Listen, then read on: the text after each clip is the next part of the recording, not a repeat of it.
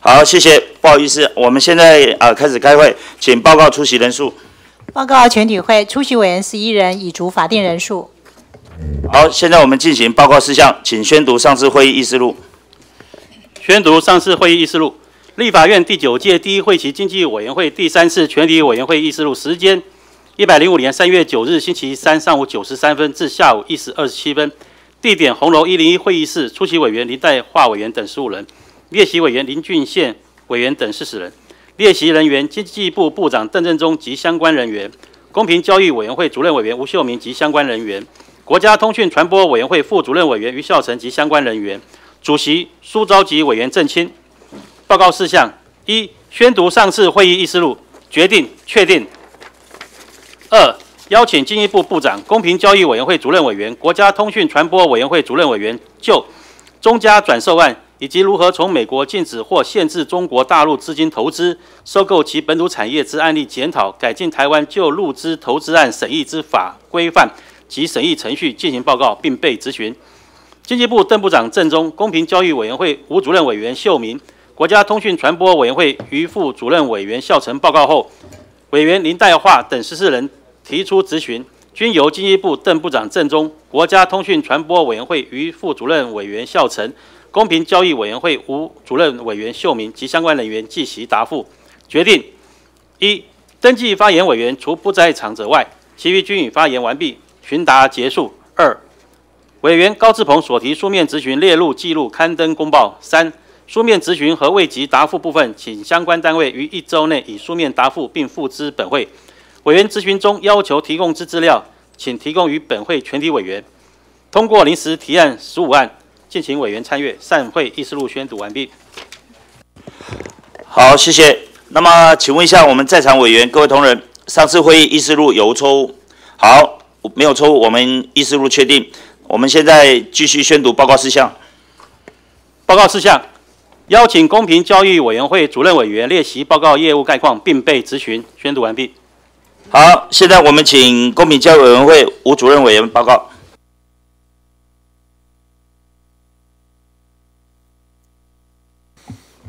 主席、各位委员、呃，各位女士、各位先生，大家早。呃，今天秀明奉邀到呃大院经济委员会来报告本会业务，自感荣幸。呃，因为这一次是本 第一第一呃本届第一次的会期，那又是年初，所以呃今天呢，本人呃将整理呢过去一年，就是一百零四年的本会呃重要的业务的这个方向呢，跟各位委员来做报告啊。那整体而言呢，过去的一年，呃，可以说是公平会呢，呃，收获非常丰盛的一年，在各方面呢，都有相当长足的这个进步跟表现啊。那在这个执法的方面呢，呃，我们呃去年的涉法案件总共有两千呃零九十件，办结了含呃去年底未结案件的，总共办结两千零呃九十七件啊。那处分的有一百二十九件，罚款金额高达呃新台币呢，呃五十八亿六千余万元啊。那呃这个查处的重大案件呢，呃包括我们处分了国际的电容器的卡特尔案件，总共处了新台币呢啊五十七亿九千余万元。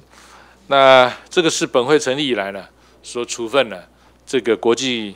卡特尔呢最高的一个呃处分案件，另外呢，我们也对于呃这个悠游卡的这个所谓的波卡的不实广告案件呢，也加以呃处分啊。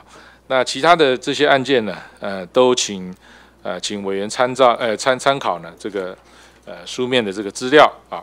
另外在结合申报方面呢，呃我们呃有处理的就包括昨天到。这个大院来报告的这个呃中加的一个结合案，另外松青跟联合的结合案呢，我们也呃不禁止它的一个呃结合啊。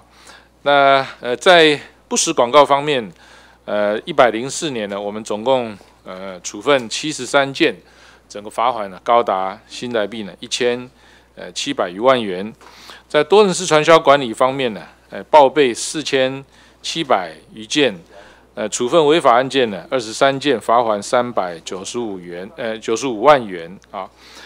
那呃这些的呃案件的处分呢，呃呃这个都能够共同来维护呢我们市场的这个交易秩序。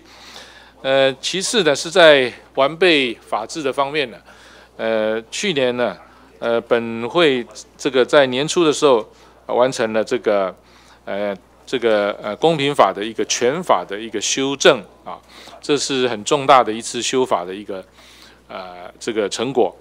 那呃。紧紧接着在年终呢，我们又呃这个感谢大院呢也通过了所谓的反托拉斯基金的这个条文啊，来强化了我们的这个行为的查处啊。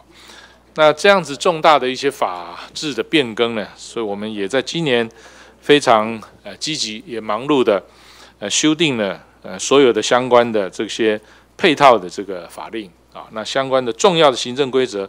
我们也呃有多项的行政规则呢予以修订，那细目的部分，请各位委员呢，呃参考书面资料。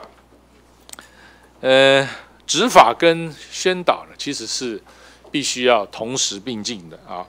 那法不足以自行，必须要呃这个大家能够遵法呢，才能够法律才能够落实。所以宣扬公平交易的理念呢，也是非常重要的。那本会呃从成立以来呢。就一直很重视宣扬呃这个公平交易的这样子一个观念，因此在去年同样的我们不无论是就呃主管机关哈事业产业，然后这个文宣啊，另外我们在服务中心方面的这个呃询答等等呢，都呃致致力于呢公平交易理念的一个宣导啊。呃，其次在国际交流合作方面，去年也是很丰硕的一年。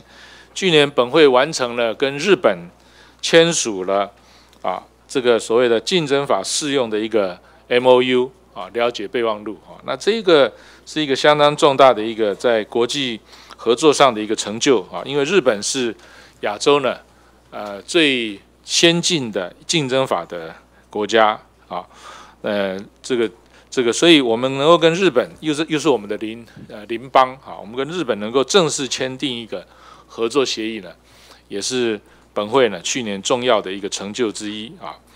那除了这个以外，我们在国际的领域呢，也持续的参与 OECD、APEC 还有 EICN 等等的最重要的国际竞争法的组织啊。那在一些个案中，我们也跟美国、欧盟、新加坡等等主管机关呢，来这个密切的这个合作。好，以上呢大概是呃个人用很精简的这个呃内呃这个篇幅跟时间呢，跟各位委员报告呃本会去年的一个最重要的施政的一个呃成果，大概如上啊。那未来一年呢，呃我们呃会继续的朝五大方向来努力，分别是有效执行公平交易法，强化联合行为的查处，完备公平交易制度啊，塑造自由竞争新体制。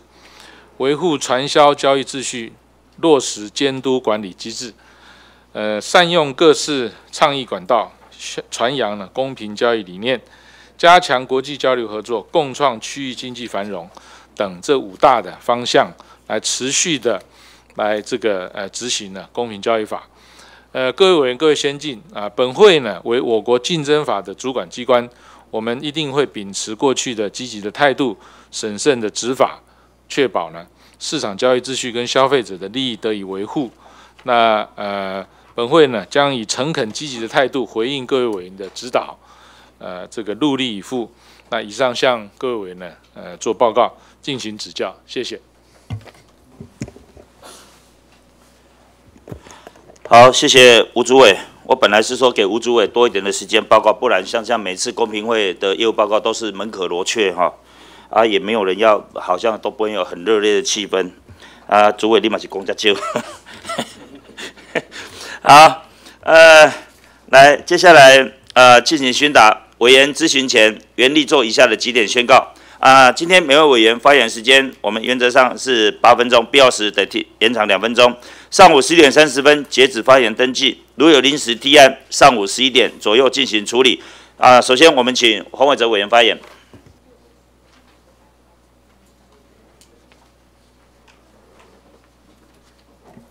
主席、各位同仁、公平会吴主委及各位长官，请诸位。好，请诸位。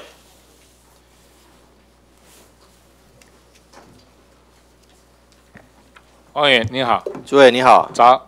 你你可不可以自己觉得自己评价一下您自己担任公平会主委这段时间以来，是您觉得您有恪尽公平会的职守了吗？从您过去，从您刚开始担任哈主委，我们其实这个委员会经营委员会一直对公平会有很高的期许。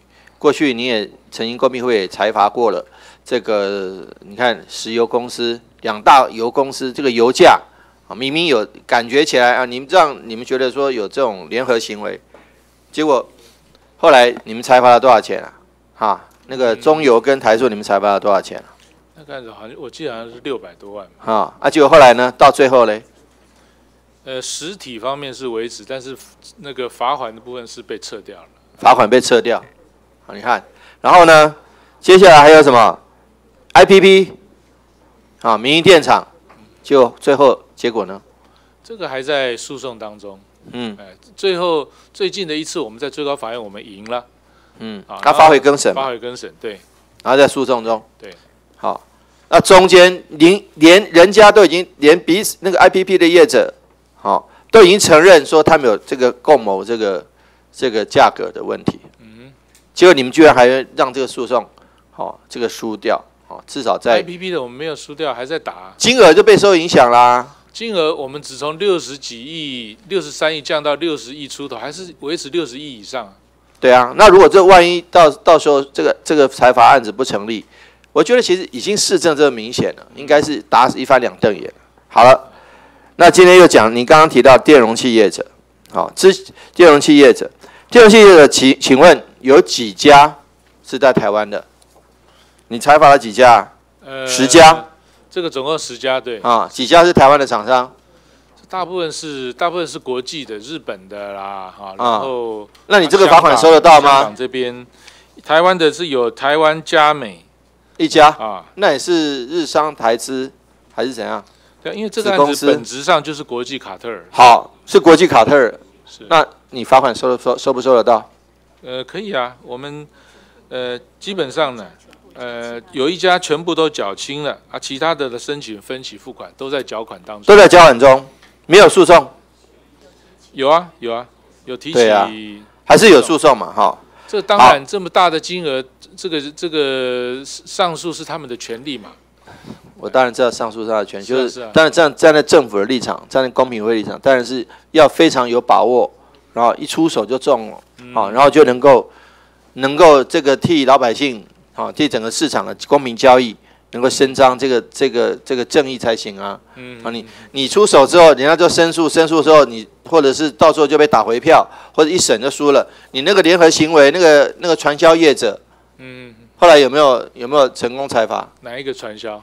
嗯，好，不是你们过去对于传销业者的的这个这个这个采罚有没有？传销，我们今呃，我刚刚有报最近的是哪一家？我们今年总共在多次传销方面，哈，嗯，这个罚了二十三件嘛，嗯，啊，那违法的部分，呃，罚了二十三件，那基本上都这些这个传销部，我们这部分来处罚，基本上都会成立了，都会成立，大部分都是多层次传销，都会成立，对，因为他都是处罚他们未申报就就就实施嘛，哈，或者是那个是程序违法。实质他们的整个传销内容是不是有有这个这个这个有这样的犯罪行为，刑事犯罪的行为还不知道。如果刑事犯罪涉及的话，因为刑事优先，所以我们都会移给检察官，必须由检察官先来侦办。嗯，这是行政法法的规定。我知道啊，好，我我总觉得，然后呢，除了这几个比较大的，让人家感觉说，哦，好像这个公平会刚开始就沸沸扬扬去去去处理，结果后来好像就有点雷声大雨点小。然后到最后，好，甚至于大家期待说之前的所谓的牛奶奶粉的问题，之前所谓的那个那个物价的问题，嗯，你总觉得我们总觉得其实公平会能够替老百姓有怎么样的作为，还是您觉得老百姓错怪你们了？这个社会错怪你们？其实你们的工作不是查物价的，你们工作只是查说他有没有违反公平交易法的，您觉得呢？呃，公平会的执掌啊，当然我们是要依照公平交易法的规定嘛。那公平交易法的规定来讲，呃，这个我们的主要的这个成立的宗旨当然是维护市场的竞争啊，当然这边也包括消费者的利益啊，整体经济的安定与繁荣，还有交易秩序啊，这都是公平交易法第一条接诸的公平会的一个职责执掌之所在嘛。好，那物价这个东西呢，其实呃。呃，我我们不能够说公平会是这个专管物价的机关哈，这样子描述是对呀，不不精确的哈。是，但是你也不能说公平会跟物价一点关系都没有啊，因为物价的波动有可能是业者透过呃，有可能是市场本身的因素啊，当然也有可能是透过违反公之前的连锁咖啡业者对，之前的这个奶粉业者。法的方式来来造成物价的波动。对啊，是后者的话，当然我们就。有介入的空间啊，但是不能够说只要一物价波动哈，就要公民会用处罚的方式来干预市场。那我觉得这个也跟市场机制的原理不符合。对啊，很多的每次如果说物价有一些有一些上涨，然后这个这个公平会就说啊，去去市场查价，去超商查价，就要查一查，后来就不了了之啊，有没有有没有出有没有怎样，或者是公平会参加行政院什么物价督导呃小组啦，定物价小组，对啊，就还是没有作用了。好，我我觉得其实啊这部分这样话说回来，其实这段时间我们希望说，呃，不管内阁如何交替。好，不管那个如何，这个我们还是希望说公民会，因为公民会我们期待你们是要独立的。是是是。那另外的，之前昨天也提过的，好，这个日系合并是好。那之前你还是提到，我我总觉得说这个这个这个一个指涉啊，就是说这个你们有时候有说是是您说的还是谁说的？有时候有受到一些压力。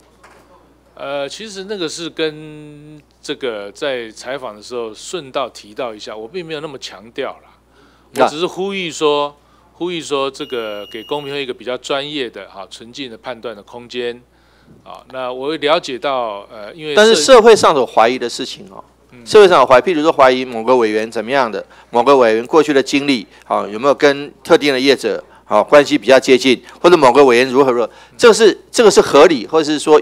这个这个这个是合理的质疑嘛？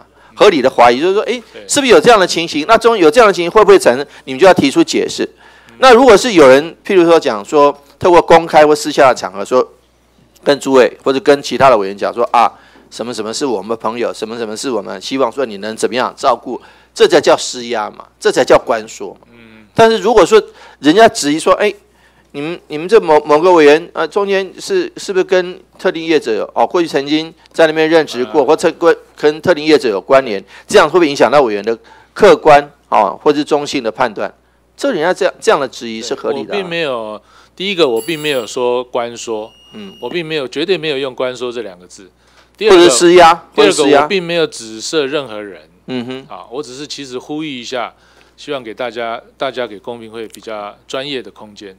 所以人家就就质就会质疑，说就会就会经过媒体这样报道，说哎，公平会主委呛受受到压力，好 施压，好或者公平会不觉得我那个时候是在呛了。我想这个主报纸的这个下标题是他们编辑的一个一个哈一个想法，这个我我也没有办法。好，那我我我总觉得其实如同您所说的。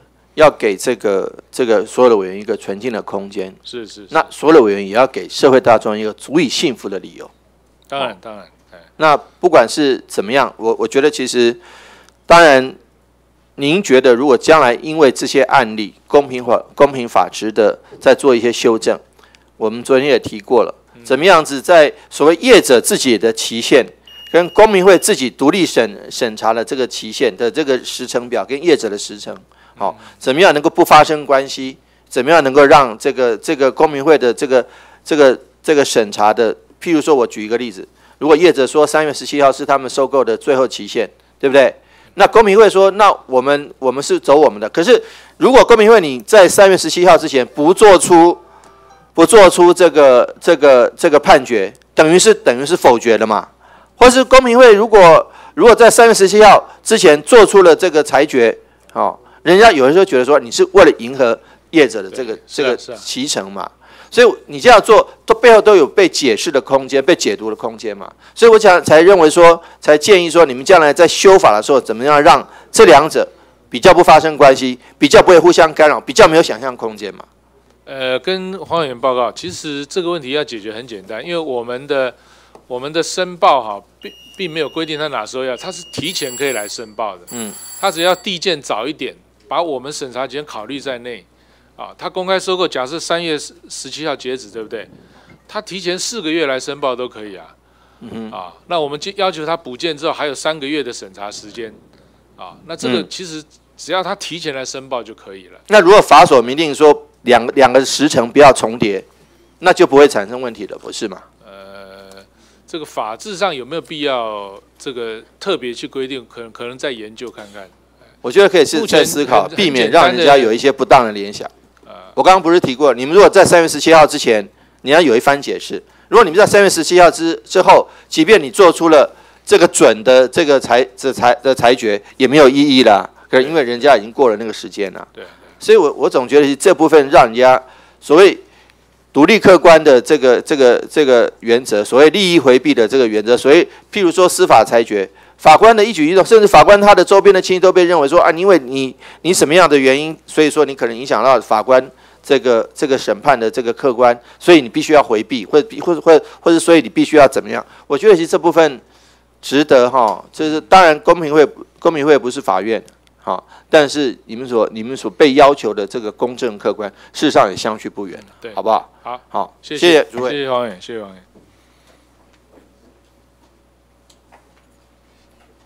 好，谢谢谢谢我们黄伟哲委员。接下来我们请廖国栋廖委员。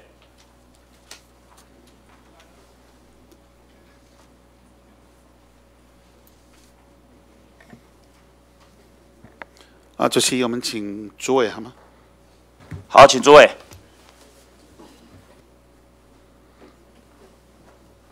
廖委员你好，呃，主委，我们昨天在啊、谈这个日系列以后啊，你有没有更大的压力进来？呃，没有哎、没有了是吧？整个压力都已经解了吗？呃，其实就是我昨天已经谈过说，我是只是呼吁大家哈，对。啊我了解大家都很很关切，因为这涉及到很多人的这个生计啊，那利利益等等，但是呃，这个能够关切，我是理完全理解了啊，那但是还是要尽量给公平会一个专业判断的一个 OK，空间。我我对您的今天的报告啊，嗯，还还算满意的哈。过去我们曾经原住民相关的这个呃那个什么宁啊，南宁案呐、南宁案最近有死灰复燃之事啊，我不晓得你们有没有注意到。我我最近从呃这个对对对方来的讯息啊是有死灰复燃，我希望你们再注意一下哈。好那我要再延续昨天的这个话题啊哈。是刚刚我们黄伟已经在问你了，有有媒体说你就是坚持一定要在三月十七号以前一定要让他结案，有没有可有此事？没有没有没有。哈。完全没有。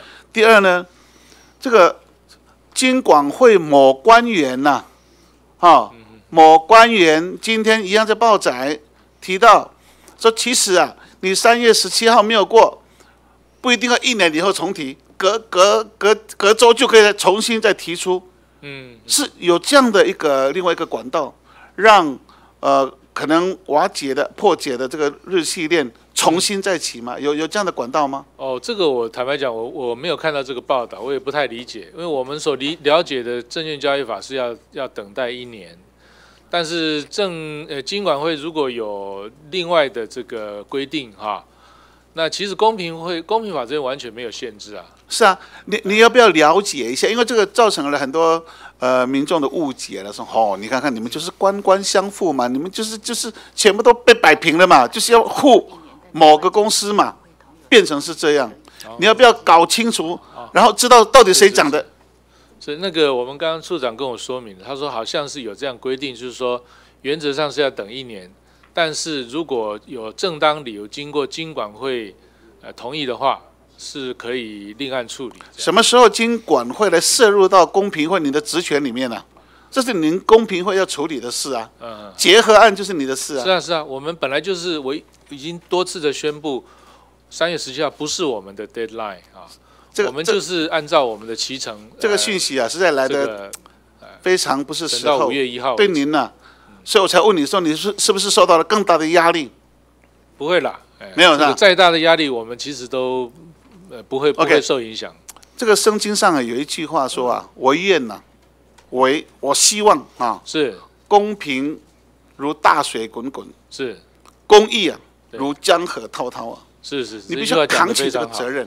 我给你这句话，让你做这个管理整个经济的产业的这种行为啊，要公，一定要公，是不管是公平、公正、公义，一定要攻，好不好？感谢感谢。那我还是要延续昨天我们谈的日系列呢，因为昨天这个呃个人执行完以后啊，电话就来了，嗯啊，说是日系的日日不是系日日方啊的员工，嗯要来找我来交换意见。但是后来呢，我们我我并没有时间接见他们，但是他们提了几个，我觉得非常值得让您好好的再关注，或者是重新审视我们这次的这个审整个审查的过程。台湾的并购合意不合意，或者是敌意两种嘛。嗯，对于合意的部分呢，我们是有一个流程很清楚的，但是对于敌意并购啊，影响更多的呃这个产业活动，影响更多的员工的敌意并购，我们反正没有呃比较清楚的 SOP。嗯嗯有没有？你你你就就您所知，我们有没有比较简单的哦 SOP？应该一二三四五来处理这个第一并购。比如说，这哦方面制度的比如说。你们这个审查的时间呢、我们昨天谈中加案的时候，中加当然大家已经心里心里有底了，但是他最起码也审了五十五天了、嗯诸位。但是你这个日系链，包括你们员工说他加班加到爆肝了，哦，加班加到爆肝，而且利用过年的时间在加班，是你们里里面的员工告诉我们的，搞到这样二十六天就审完，你们在赶什么？人家就会质疑你啊。你你你这个前面的我们刚刚讲的中加案审了五十五天，但是我们审了七十六天了，日系列哪里有七十六天？呃中加案中加案。啊？是是啊，我我说排除了其他的那个假日，至少五十五个工作天。哦，。工作天。对，啊，结果那你你这个日系日系这件案子，二十六天就上完了，而且赶一直在赶，一直在赶，所以难怪人家会质疑你们嘛，啊，我们没有说要把它赶完啦，那。没有说一定要在那个日期之前一定要可是一定要做瑞瑞光之前就说他们三月十七号一定要给我审完，嗯，他报纸这样写呢，对你们是情何以堪呢、这个我现在不讲这个事，我现在讲的是劳工的部分。是劳工你你可能，我真正我们关心的其实是劳工。过去很多的案例啊，敌意并购、合意并购也好，之后所造成的劳工的之前也好，甚至最后啊，这个 两败俱伤的状况很多。昨天我也跟你讲了，这个日月光跟呃细品呐、我我想员工哈、都是在高阶的部分呢、在班品这个这这个领域啊，细品有两千七百个员工，日月光呢，两万吧，我不知道这里这我的我的，那总人数是这样，哎，我我只讲班品这个领域哦，哦，你是总人数，你讲两万是总人数。我讲是总人数，啊，那么日月光是两千九百五十个，另外一个也是他们的高阶的，而且高度重叠的，嗯。啊啊一个技术呢，呃，这就是 flip shipping 啊 shipping 这个细品呢是三千个员工，然后日月光是两千三百个员工，所以日月光的员工跟我说，我们担心未来合并以后，细品的现在就已经号称要出走了嘛。那么一般的员工也说完了完了，我们只要一并购不被并以后啊，我们是最先被之前会被处理的对象。其实现在是日月光自己的员工也非常担心，因为就制成就产品来讲啊，细品是第一，还不是日月光第一哦。所以他们认为将来要被并合并以后，首先被处理的可能是日日月光的原来的员工啊，哦，哦这样子，有没有可能？有可能的啊。其实他们现在非非常担心的还是劳工的议题。是是是，所以我觉得你们在做审查的时候，除了经济的行为，除了市场，除了产品，除了市场以外，多听听劳工的声音。昨天我们江启臣委员在询询答之后，他在 Facebook 也稍稍稍披露了对劳工的事嘛。昨天哦，对，其实这好多的员工进入他的 Facebook 跟他按赞呢，就表示有很多一大部分的呃这个呃员工啊非常担心和这个敌意并购之后所造成的就业是啊的的这个一个大的一个这个我们完全了解，所以你们会考虑。不只是要查，而是我们希望你们呢、这个在公听会的时候，是不是也邀请劳工的代表来说说，嗯，听听他们的声音？或许他们不敢呢，因为来了就是就就就就是呃这个 会被处理的对象啊，哦，但是我希望啊，你们在公听会的时候，呃，能够呃把他们也找来，因为这个员工啊。以外还有小股东，呃，这个散户啊也是非常关切这个事情啊，呃，将将来的影响所及啊，可能真的是不是小数目。昨天有一个数据，我没有给给你看，就说你们这个细品会向外征询意见呢、啊，细品会啊向卫生征询意见，总共有六天呢、看完了七千零零七十七折的对对对外面的意见，对，但是中加案零。嗯，这中间没有人在关心，大家关心的还是这个细品的呃这个部分。对对你们用六天就看完了七千，每天都要看一千两百折，难怪人家说爆肝嘛，你的里面的员工都爆肝了嘛，哎，我们了解到这里面有一些是重复的了，啊重复的。是，那我们剔除了之后，大概大概真正的人次大概是两千多件，两千多次六天也一天也要处理三三四百啊我们不，是只有六天处理完了，我们一直都还在处理啊。还在处理。对对，所以这当然那么多的外在的意见表达出来的时候，你们应该要更严格、更严严谨的来处理整个审查的过程，好不好？？所以我就一再表示说，我们我们这个不会说一定要在三月十七号之前就要做出决定，OK，你这样真的的的已经非常确是蛮清楚了。赶的。哎好，好，谢谢谢谢廖伟。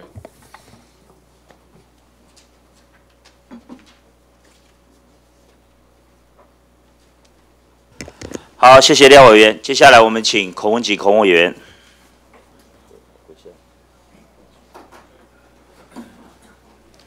好，那在那个孔委员还没有发言以前，呃，我们时代呃时代力量的党党团助理看在不在？好，去通知那个我们的下一位那个那个咨询者。好，谢谢。好，好，主席，可不可以请那个呃吴主委？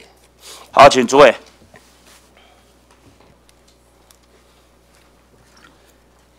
孔委员你好好，，呃，主委，那个你好，那个昨天昨天你是很辛苦了哈。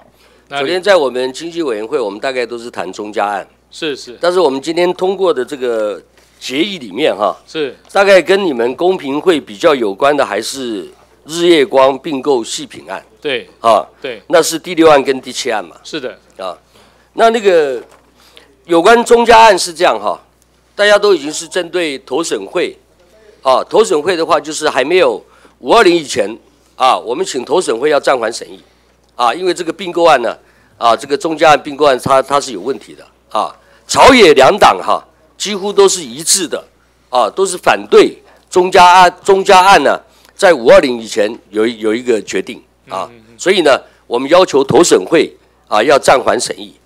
那经济部呢也会支持我们经经委会的意见，但是 NCC 呢，啊 NCC 的话呢，呃交通委员会昨天他们的主委哈十四号讲哈，他说你你要我们撤中加案来重审，那石主委讲说，那你请写在法律里面，啊，请写在法律里面。他这边讲哈，如果有一些政治上的对手，如远传电信有疑虑，NCC 就不应该审理该案，是伤及一个法治国家形象的行为。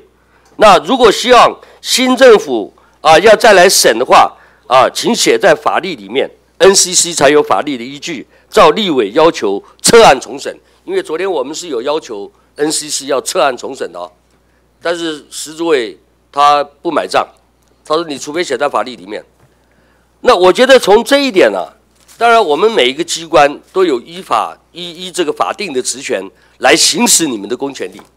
那我们民意机关呢，我们是可以做成决议，但是给你们行政机关，但是我们的决议呢，也不能压缩到我们行政机关的职权。我觉得十四号主委他讲这句话很有骨气哎，嗯啊，昨天也是交通委员会在审中家案呢、啊，他他说你你写在法律里面，我我才我才不审呢、但是我们昨天经委会的决议也是希望 NCC 呢啊暂停啊不要审。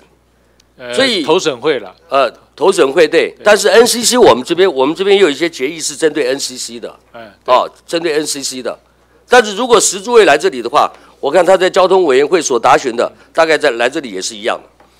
所以我觉得我们作为一个政务官哈，我们要有这样的一个担当，要有这样的骨气，因为这个职权是法律国家所授予你的权利。是的，是的，啊，那所以我说我今天要谈，啊，这个对于中家案，石主委有这样的意见。虽然我们立委朝野两党立委都认为啊，这个中家案是不妥当的啊，还有一些疑虑，希望能够撤呃撤案再重审啊，但是他有他自己的看法，石主委有他自己看法。那在日系案的话呢，那我想请教一下，你有没有你你有没有什么压力啊？有没有什么压力？一定要在三月十七号以前要把它决定？呃，三月十七号之前，呃，这个我们并没有任何说一定要在之之前审完的，嗯，啊，没有嘛哈？哎，没有，但是我看你昨天在答询的时候，那个廖国栋委员呢，呃，通过了我们今天的第七案，希望你在四月十五号以前召开两场公听会。对对啊对对，那你看你你你你你答复是有点困难，啊，三月十七号以前是不可能召开完毕，啊，一场公听会都都有问题。呃，我的意思是说，因为这个案子三月十七号之前如果不审完，就实质上等于破局嘛，啊，对。那如果是在四月十五号之前要办两场，这个我们当然做得到，三月十七号以前是不可能的嘛。但是三月十七号，你今天四月十五号，我们立法院经委会的决议，要你在四月十五号以前办理两场，是啊，本来就是本来就是希望你破局啊，你不能在三月十七号以前要做决定啊，嗯。对不对？你四月十五号以前啊，因为它还有很多的争议啊，包括廖委员刚才咨询的对啊，你们几天就把它审完了啊？中家案你们审了几天？七十几天，七十六天，七十六天嘛。嗯那是不是有没有什么高人在指点啊？指点说，哎，叫你们三月十七号以前赶快通过。呃，这个我再再次的这个郑重的宣布，我们不会说一定要在三月十七号之前做出决定，绝对没有这个事。我们一定是很审慎的，达到了我们专业上的一个确信。所以，诸位，你昨天的答复哈你昨天的答复，你就要很明确的讲，我确实一定会在四月十五号以前要办完这两场公听会哎。你昨天给我们答复说，三月十七号以前连办一场公听会都可能有困难。啊，我那我那时候就在想说，你心里是不是希望三月十七号以前有个决定？我昨天说，如果四月十十五号之前要我们办，我们照办，就是表示我们做得到啊。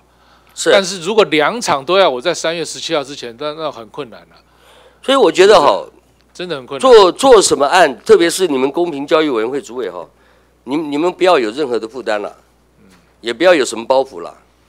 你说有有什么上面人施压，我就我觉得根本对你来讲是一点问题都没有。嗯啊，那我们经委会的决议，我们当然要遵守啊。可是你有行政机关法定的职权在你身上，啊，是是是，就像那个石石主委这样讲，因为我是没有去交通委员会咨询，我是看报纸啊。他说你你写在法律里面嘛，要我撤案重审，你写在法律里面，他有这样的担当，有这样的骨气啊啊。当然我知道你也是有有担当、有骨气的啊。所以面对这两个案啊，一个中家案啊，一个日系案呢啊，我是希望你能够拿出你一个超然的立场，不要受到任何财团的压力。不会的，不会的。不要受到任何财团的包袱。所以我觉得公平会公平会啊，应该要本于这样的一个职权哈，呃，超然公正的立场来审，啊，也不要畏惧有任何政党的压力了。啊对，那昨天我们朝野两党是有共识啊，哦、都是希望这个中加案是希望能够五二零以后再再谈，啊，大家都有这共识，嗯，啊，朝野两党都有共识，那那这个几乎是没有意见的。但日系案的话呢，三月十七号以前是一个关口，我是希望三月十七号以前啊，不要有别的因素的外来的因素的压力，是是，好不好？好，这个希望你能够跟石主委这样啊，石主委这这这些话，如果拿到经济委员会来讲的话，我看我们几个几个立委也也是不高兴啊，啊也是不高兴。但是他在交通委员会这样讲啊。好的，那个，所以这个是我对这这方面的看法。我认为哈，呃，这个言论集中哈，言论集中权在台湾已经发生了啦，啊，不是只有说中家案啊。几乎是财团来决定我们台湾的舆论的一个市场嘛。哎，我在我在我是念媒体出身的，啊，我是念媒体出身的。事实上，这这整个股权的交易什么啊，几乎是整个财团在掌控。那你今天看一看这个几这个我们啊这个有限这个诟病法这个企业诟病啊，这个当然也会影响到这个舆论的一个发展，所以我们会比较担心远东集团。啊，万一是中家案成了啊，会不会影响到台湾的一个舆论市场、媒体的生态啊？这个、这个、这个当然是一定、一定有关系的啦。啊，那这个呃，我这这边是要特别提到了哈，刚才廖委员特别提到说这个广西南宁案是的，那个老鼠会哈，对，那你们上一次、上一次、上一次呃，有办到什么样的程度没有？现在有死灰复燃的迹象了。呃，广西南宁案哈，我们是当然，因为它是一个不法吸金呐，哈，不法吸金。严格讲，它并不是公平法上的多层是传销，因为传销要传销商品，嗯，或者服务嘛，那它是一种不法吸金，它主要是呃银行法，银行法这边的这个问题。对，这个你们现在办到的程度，现在是因为啊，花莲的地检单位现在又到花莲去，又抓到了几位原住民，他还是有在重蹈覆辙。啊，这个重操旧业啊，就是在继续的吸引原住民但是我们会继续的。特别针对原住民的部分啊，我们过去特别针对原住民，我们做了好多场的那个宣导啊，告诉原住民呃，就是他们不要上当啊。嗯，那我们也跟减掉这个配合，我们有些资料尽量提供减掉，那他们的头头都被抓起来了嘛。嗯。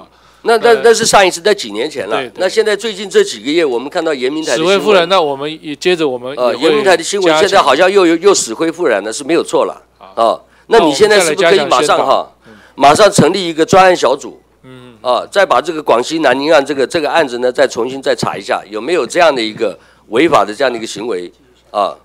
啊呀，我们会继续的加强宣导。那这个这个部分呢，我觉得可能公平交易委员会要给我。交交代哈，好，就你们现在办理的情形怎么样？啊，不要以为说这个案子已经结案了啊，现在确实是有死灰复燃了啊。啊，法院都已经判决了，那有死灰复燃方，我们一定会注意，并且就是说那个判决是那个上一次那个案子那几年前的，现在这几个月又出现了，是是是，啊，又出现了，现在好像还是有几位我们原住民挂人头，又又是到到广西去，这还是有。那我是说，你现在再来再来查一下有没有死灰复燃迹象啊？你不要以为说那个案子已经结案了。OK 啊，刚才讲到死灰复燃嘛，我也我也赞成廖委员的意见呐。那最后这个啊，那个因为时间不够了哈，这个杂货店原住民的杂货店卖的那些劣质的饮料哈，查一下好不好？啊，杂货店啊，很多不劣质的不良的这个产品饮品呐，啊，都是拿拿到我们原住民的呃地区啊，这个查一下，我会提供具体的案例。啊，会后我会提供具体案例给主委了。这个主要我的了解，比较是卫生署的职权。啊，那是卫生署职权的。是是是。好好好，好，谢谢。好，谢谢。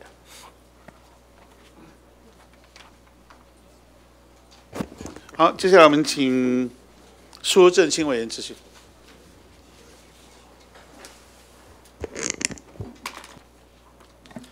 好，谢谢主席。主席，请一下我们主委。好，主委请。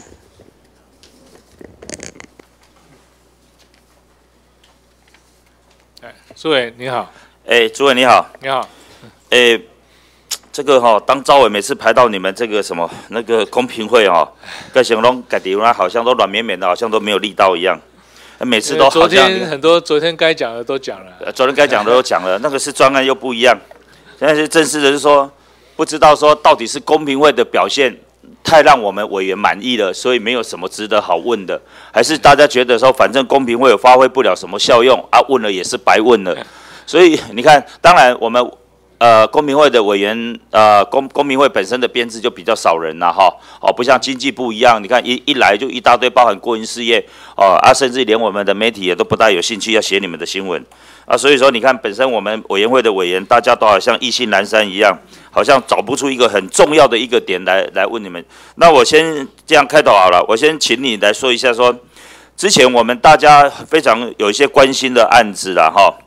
那包含着之前我们去处罚的什么那个呃那个呃呃店家的业者那个什么，呃我我一下也忘了，说你们的你们的案哦实在也很难去记民营电厂吗？啊对对对对民营电厂的问题，现在呢？嗯呃，那个在我们已经处分了嘛，哈。对啊但是被驳回了嘛诉讼。诉讼当中，那哎。最近的这一次，我们在最高法院我们胜诉，那他发回发回更审，法委跟审，是是是，那所以一切还是有法律诉讼当中就对了。对对对对。那那关于咖啡的案子呢？呃，咖当时有两个案子同时发生嘛，哈，一个咖啡案，一个鲜奶案。是那咖啡案的部分，我们呃是最后是被撤销嘛，哈。哎但鲜奶案部分是确定我们就胜诉了，是所以呃类似的案情的两个案子一等于是一胜一败了，嗯这样子。那所以说，其实，在房间里面呢，哈，那个跟你在对谈，好像真的都提不起劲来。想人们他们哈，恭喜！哇，所以我就说了对我哈，们我们业我们会的业务比较专业一点啦，啊，比较没有媒体效果，有可能。你们比较专业点，不是啦，林总，当你跟我讲，你们根本就没有，好像没有发挥的本本职的实力。当然这样讲，对我们呃公民会的我的同仁不大公平了哈，大家也真的很辛苦了。只是说，我们要如何让外界感受得到？当然，我们希望如果真的外界都是公平、风平浪静，就好像消防队员一样。消防队员他平常在待命中，所有的百姓都不会怪消防队员说，哦我们消防员说，哎，你怎么在那边待命，在那边休息？不会，反而我们希望说，你们最好就是在待命就好了，因为你们只要待命，不要出勤，好、就代表我们人民的生命财产是安全的啊。但是警察又不一样了，对不对？好、所以说今天公平会如果说大家都好像没有事情做的时候，是不是就代表我们这台湾的社会充满着一一一片的所谓的公平啊，充满着一一一切合法？好、所以说这个是不同的意意向的一个表征呐、但是反向去思考说，有时候我们会觉得说，到底公平会能不能做出什么样的成绩，来让人民哦的眼睛一亮？好，那今天我还是呃延续昨天的啦哈，这个细品案哈，那个什么日系案呐哈，日系案对，其实我们大家都知道，凭良心讲，被并购的一方应该都是属于弱者啦。我我不知道我讲这个观念对不对？被并购的一方，因为他被并购嘛，我就是我讲诶，你咧战争赶快，我有零六，我们才给你拍呀，赶快艺术啊，好、啊，一样的道理，像我们在选举一样，我们一定要实力比较强才能获获胜嘛。所以在立场的论点上，在被并购的一方，感觉上都是比较属于示弱者的一方。所以包含着刚才廖委员所所讲的，我们的委员，我们很多同仁委员，大家都会先收到很多的所谓的陈情，包含着所谓的其他的所谓的关心他们的一些意见。那么今天我要跟主委你讲，其实这这个日系案，它的结果只有三个嘛，一个是同意，一个是附加条件同意，然后一个就是禁止结合，就这三种，没有别的嘛。那最糟糕的一种是什么？我讲实在话，最糟糕的，我真的很讨厌什么叫做附加条件的同意啊。因为这个是一个承诺嘛，对不对？那昨天我在问 NCC 副主委的时候，我也讲过了，他们的承诺根本你们在审查的时候，连这个基本的承诺的所谓的一一个重视都没有去，还说什么是专家学者在研究？我昨天讲的啊，他们承诺说从五百个人那个可以可以变成服务到变三百个人，副主委他讲怎样？他讲说这个已经是哦，他们有进步了嘛。我要想说，人家都剩下都他们进步到，他们可以服务到一个光节点，可以服务到一百多个人了，哦，一百一十个。他现在还给你写说五百个人降到三百个啊，这样政府还去接受？为什么政府没有办法？既然是专家，既然是学者，在这个角度上面，你应该对他们的附加条件，应该是要更加审慎。我我讲的应该没有错吧？就是因为你们对他们的某种程度上有所质疑，所以才要他们去做附加条件进来。那进来我们在附加条件里面完全是没有去所谓的去加以重视，连这个最起码的一个服务的光节点的人数里面，从五百降到三百就满意了吗？人家到各自的私底下业者都已经是变成一百多个人而已，那连这个都不去重视，所以我在这边我真的为什么我要讲这段话？我要跟主委们讲，因为我们公平会是由委员合议去产生的嘛，对不对？好，你一直在这边讲说，希望外界不要过度的去干扰你们的行政作业。我平常心讲，我们没有能力去干扰，我们也不会去干扰。我们站在立法院，只是反映一些来自不同的声音，来给我们主委你们去做参考而已啦。是是，那其实你们委员是谁？公办电我我们到现在你们哪些人是委员，谁在审查，我们的都都还不知道嘞。对不对？但是有些声音，我们必须要透过在这个民意的殿堂里面来跟我们公平要去反映。那为什么我要举那个例子来讲？我的意思是说，真的不要大家只关在冷气房里面，还是甚至于呢，只在所谓的办公室里面做书面的审查作业。像中家他们的附加条件里面，这个一个最基本的，如果你真的有重视他们的的一个。一个附加条件里面，你就会去实地去访查，实地去了解，所以不要只做一个所谓的书书面的审查，应该我觉得应该更加落实的去做所谓的实质审查，这个真的很重要。所以包含刚才我们的廖委员也好，孔文吉委员也好，其实我们在意的啦，我们在意的是什么？基层员工的一个心声呐。两个合并了以后，被下架的一定是谁？被下市的一定是谁？一定是。细品呐，对不对？那你们有钱人玩的游戏，日月光的老板，你们的大股东们，细品的大股东，你们，你们去玩你们这些金钱游戏，你底下一来一去啦，那是你们家的事啊。我讲啊，你们你们都有好几亿，甚至好几十亿、好几百亿的身价，那你们那是你们的事啊。那我常常在自己讽刺自己的时候，我我也好几亿身价，我有两亿啦，有哪两亿是回忆跟失忆啦？所以我讲过，我要讲的是有钱人，那是你们的你们的游戏。但是今天，刚才你有回到今天日月光，它有多少员工？两万多人，总共。日月光啊，总共啊，日月光不止，日月光四万三千多人呐，对对对，对不对？对。那细品呢，有两万四千多。对。两个合并以后，一定是达到所谓的六万七千多个人。嗯。如果两家合并，我现在是就事论事，我要替这些基层员工，如果。日月光他开出一个保证，他说未来合并以后，我们不会裁员，我们一定会更增加更多的就业。诸位，你会相信吗？嗯，会不会相信？不是相信不相信的问题，而是他如何去落实他的。好，对。但是你没有采取相信，你又怎么知道他会落实？那就要看呃机制。对啊，如果他不啊到最后没有的话怎么办？第一个，两家合并，昨天我有问过了。当这个时候下注订单的时候，不管是哪一个大厂下注订单是分散风险的，所以两家几乎都是嘛，一个是第一大，一个第三大嘛，分散风险。两家合并以后，订单不可能维持原来的订单数量，我讲对不对？对，会有应该是这样嘛。所谓的转单效应了。对，转单效应。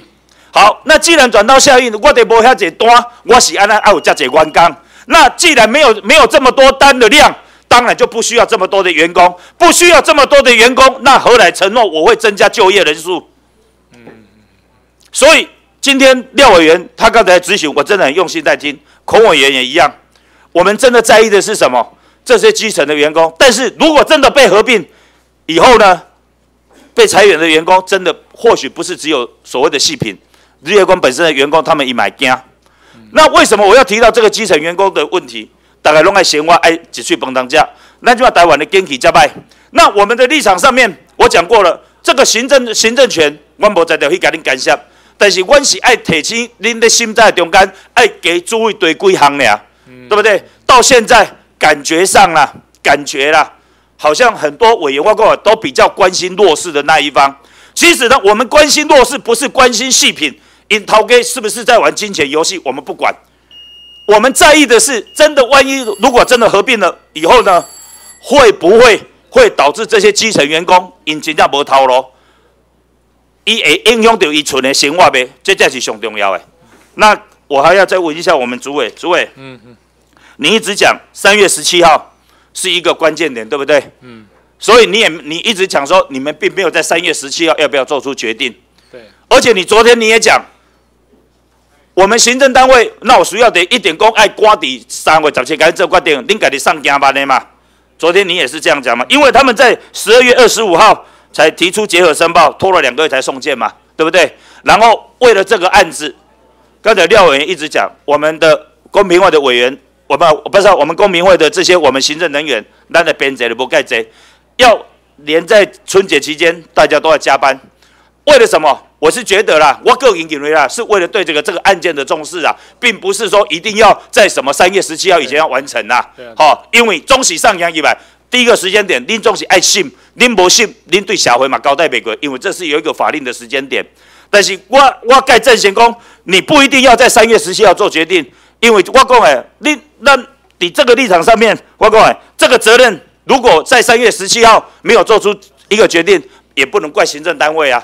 当然更不可能利用利用我们说立法立法院我们立法单位来好像来替你们背书一样，也不需要啊。所以昨天廖委员提出来说，希望能办公听会。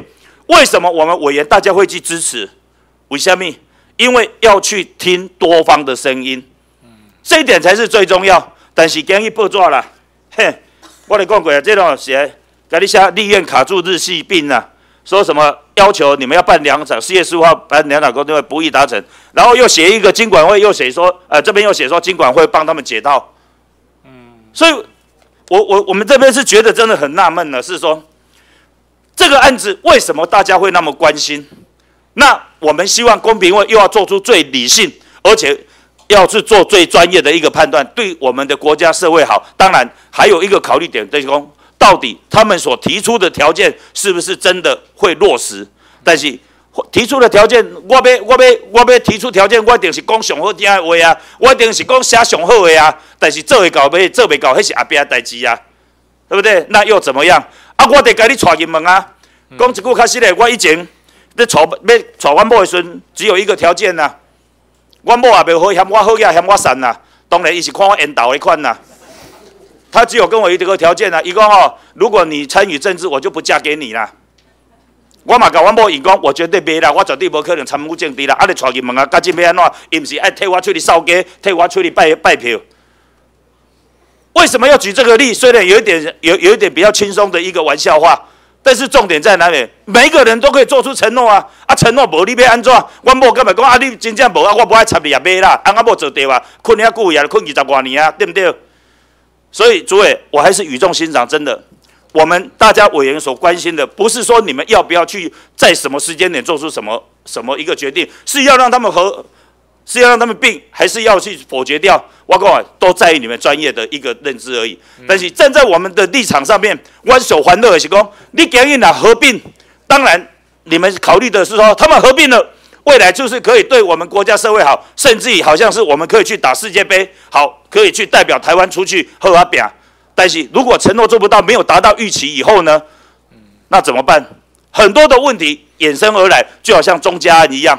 为什么大家在这个一片的质疑声浪里面，希望要求退回重审？那我们今天只是要求公平会，我还是再一次要求，真的。要真的要摒脱个人的情感因素，也摒脱的外界任何的压力，你们去做最实质、最客观、最符合国家社会的期待。今天嘛，我今天跟主委你再一次的跟你们一个做说明啦。好，谢谢，谢谢我们的期许。当然，三月十七号能不能通过，我讲诶，这种高万无关系啦。嗯。好，但是如果说在这个时间点，他们有很多项是还没有说明的，还没有弄好的。当然也不急着去做好，这个要当然是由委员你们自己去决定了哈。好，谢谢诸位哈，谢谢谢谢委员。我做辛苦，我拖到你来，我这一路呢。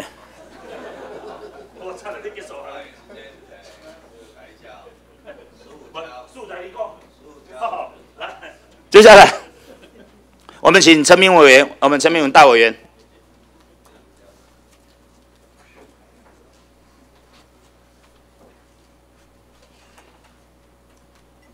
好，主席，我们请诸位。好，请诸位。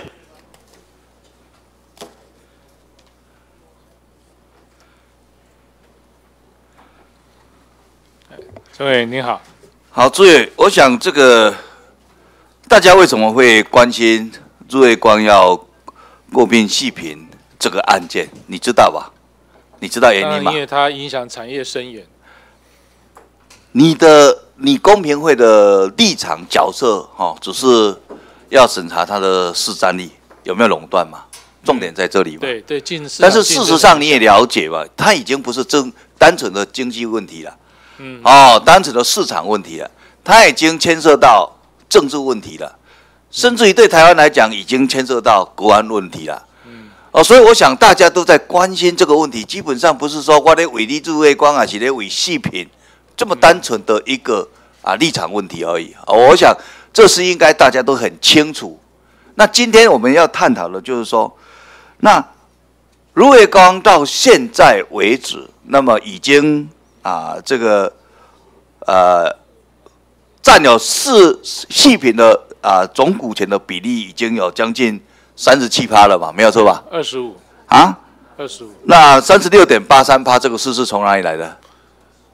呃，我不知道委员的数字呢，他目前入股细品是二十五左右。已经二二十五。我的意思是说，他从八月二十一号用每股四十五块公开去收购，一直到九月二十五号截止，那他的股权已经达到十一点四七亿股，没有错吧？哦，我了解，那是说目前硬买的，对呀、对呀、硬买的对呀加上去的，所以已经达到它的细品的总股权的比例，已经达到将近有三十六点可八九八了我我这样讲，应该应该这个数字应该你那边有吧？没有错吧？这个数字也是从你那边拿来的。那现在重点，我我要我我要问主委的意思就是说，重点是安尼啦吼，重点是讲你涨你也有去讲着讲啊，这个购并案哈，并购案的这个这个这个问题很复杂，那啊也有特定人士好、特定人士呃跟你这个施压。那到现在为止，到现在为止了哈，几个委员都问你特定人士是谁，似乎你都不愿意讲，没有错吧？哦，你愿不愿意说明，到底是总统高、总统府高层，还是行政院高层，还是啊，还是什么人？哦，你你你总是要讲这一个特定人士，我想社会都是非常的关切的哦。我想这主委你你是有有义务要在这里说明的哦，因为这个不是单纯的日月光哦，张张董事长哦，或者是这个细品董事长他们两个人的一个争争争这个经营权的问题哦，他们牵涉的也很多啊啊，我我想这些股东的权益问题哦。哦，现在看起来刚刚你的说明，哎。这个我们日月光，我们了解日月光就有他的就有股东人数就有十六万多哦，细品也有六万多哦，员工也也加起来六万多哦，所以那么共改这是加这个这个牵连到三十几万啊人的一些权利问题哦。那这个诟病案到现在为止，好像大家都很关心。那你也讲了，呃，特定人士，难道到现在为止你也不讲是这个人是谁？那你应该讲啊，你有你有权利，你有义务要说明啊。公平会完全不会受这个影响，不是不会不会受这个影响所？以我们为什么这个人会讲？你也敢安讲啊？到底这个人是什么人？说明一下好不好？呃，这个我没有办法在这边透露，啊，不方便在这边透露。总统府高层、没有啦，国民这个党大家都想象啊太高层，太有想象力，还是哈？还是谁啊？你就一定有一个，啊，那无就是，那那不是恁大兄，哦，啊，就是你你老师，啊，那无就是和你有关系的人，大概是这样子吧。要不然你要讲出来啊！我是觉得这个讲出来对你友好嘛，对不对？不是吗？啊啊，呃不需要啦。这个为什么这个因为我们不受影响嘛，不受任何影响。那什么情况才算是影响？什么情况是不受影响？你说明一下。就是我们的专业的判断依然会依照我们的专业去判断。好，那如果我的判断呢、对，最后这个过命案公平会通过，我认为你有影响，你同不同意？谁谁有影响？你我当然有影响，我是我我说你受到影响啊，你同不同意？哦我不会如果这个诟病案最后日月光真正的并购了细品了，是在你公平会的这个审查过程中，在五月二十号你就让他通过，我就认为你有受到影响，你同不同意？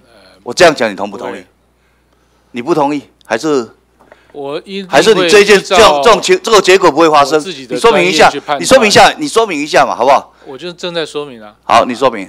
就是我会依照我对公平交易法的判断，去呃这个去审议这个案子，跟我们的委员一起，而且不是我一个人决定的，是整个委员会共同来决定的啊，绝对不会受任何方面的影响。所以，我我想是这样子的哈。我们心平气和的探讨这件事情，既然你有提到有特定人士跟你施压，社会大众开始关注这件事情，特定人士是谁，你不愿意讲，但是事实上你会讲，就代表这个人确实有给你施压，那会不会影响你在你内心深处，你会产生一些化学作用？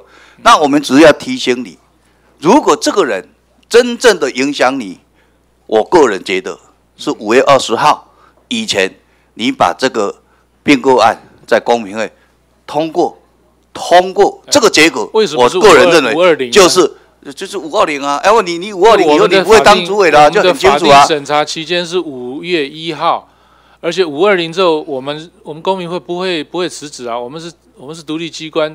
任期至到明年一月一月底为止。哦，所以你还是会继续做下去，就对哦。你是独立机关。是啊。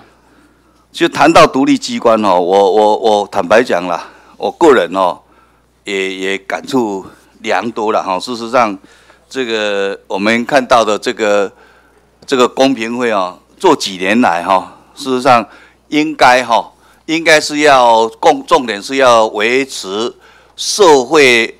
这个市场的一些稳定了哈，是是。但看到的，我们看到的最最近的哈，不管是这个很多社会争议的这些啊，这些并购案哈，一件一件哦事情哈，好像似乎啊哈啊，这个都在公平会哈在发生了哈，不管是旺旺买中石啦，还是远传买中嘉啦，还是这个前年买松松青啦，还是元大买大众啦哈，我想。看起来那亲像吼，这个公平会是一个独立机构啊，但事实上哦，我们了解的哦，都跟吼政治吼都相关联性的了哈。这一点是让我们感觉上哈啊，刚刚比较加遗憾呐啊。尤其像中家这个案哈，事实上中家，你你昨天还信誓旦旦的告诉我们说，通过我们还附加呃这个靳主任这个这个。这个远传任这个董事长啊，禁止派经理人呃，禁止除中家的这种这个这个除股中家啊，结果嘞，哎，结果你讲完以后，哎，人家就讲说远传已经在这个各个系统台哎去召见他们的这个高层，开始在讨论人事问题了，有没有？对不对？所以很多事情啊，我我是觉得，这个我们就你你你们你们哦，你们这个。在讲这些话哦，就像刚刚几个委员给你的咨询，事实上都是没有用的啦。哦，你们附带的，事实上在表面文章，事实上书下人家是怎么运作，你基本上讲 A 哦，人家一定告诉你说不会的嘛。其实我们在关心的日月光并购这个细品这个案，其实我们从整体的内容上，我们就已经很清楚的发现，哎，日月光已经不是单纯的哎一个一个一个公司。要并一家公司的问题啦，我看他们日月光他们的整体的那个他们的一个一个营收啊，营业额啊，六十几亿，哎，在在大陆都已经已经叫超超过六十趴以上了，在台湾才才占三十几趴而已啊，所以也就是说，我们看到的日月光很明显已经是一个红色台商了呢。啊，哪跨境嘛，整个我们台湾的这个半导体，哎，慢慢的会被中国的半导体。会超越过去，伊真正安尼类是算甲咱规划旁呢。如果说日月光暗中如果再有中国的因素存在的话，那等于我们我们的整个台湾的半导体是会被中国超越的，对？这一点我相信你站在公平会的立场上，你应该要要了解呢。啊，现在我们在讲的就是说，我们如何去对抗红色的供应链。现在看起来，哎。中国有业波呢？我们今天看到的这个，这个已经不是一个单纯的一个一个两家公司的一个并购问题了，看起来就是一个整个台湾的一个啊，我们的产业牵涉到我们的国安问题了。这一点我相信诸位你应该很清楚吧？没有错吧？啊，你你应该知道吧？我想这些你应该都知道。我们提我们在这里执行你，事实上你是主委，未来你在这个。并购案的讨论过程中，应该这些因素应该都在你脑海里脑海里吧？应该你都很清楚吧？啊，应该你都了解吧？事实上，过去瑞光伊甲迄阵甲甲环气电子并购了后啊，也让他在台湾下市呢。在台湾下，他自己也是讲了呢。如果他真的把细品并购下市是必须的呢。嗯。那以后这些的工的员工权利是怎么办？啊，然后你看看他过去的因为操作的手法，搞环系电子啊，买完了以后，然后就在中国建厂了呢，然后在台湾就把它下市。这个我们都知道。这这个我我相信你都很清楚啊。对对对。那。那台湾人也是在看这些问题啊，就简单讲起来，讲这问题看的呢。我们是希望，诸位，我我是我我们是在这里哦，特别的提醒你，哎，能让你啊能够更审慎的去处理这件事情。我们希望公平会这一件事情的一个处理哈，是应该要严谨的哈，而且应该要站在各个角度上哈啊去。去去了解哈啊，然后做最后的一个决定。我想这一点哦，是我们要在这里一而再再而三提醒你哈。我们是希望哦，你们哈公平会哦，这个是一个独立的一个机构哈。但是我们看到这八年来，然后事实上很多的啊处理上哈，事实上都哈很难啊让台湾人啊相信公平会是一个独立单位。哦，我想很多的并购案。坦白坦白讲，美国政府了哈，像这种反托拉斯的哈，这种事情哦，是一个非常严重的事情啊。嗯。反而我们公平会哦，在台湾哦是做小了，做小了，所以我我是觉得哈，事实上我们公平会真的应该好好的事情再检讨一下。好，谢谢谢谢委员。好，谢谢我们陈明文陈委员。接下来我们请高志鹏高委员。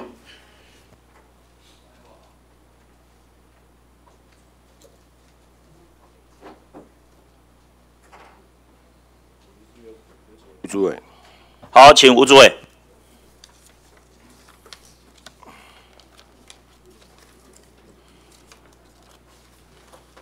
高委员您好。呃，主委好。主委，就大家关心的这个日月光冰细品这个，嗯，说有很多压力啊。没有啦，没有，我没有说有很多压力了。不是很多人关心。大家关切难免的，哎，啊，关切不是关心，哎，关切关心有必要吗？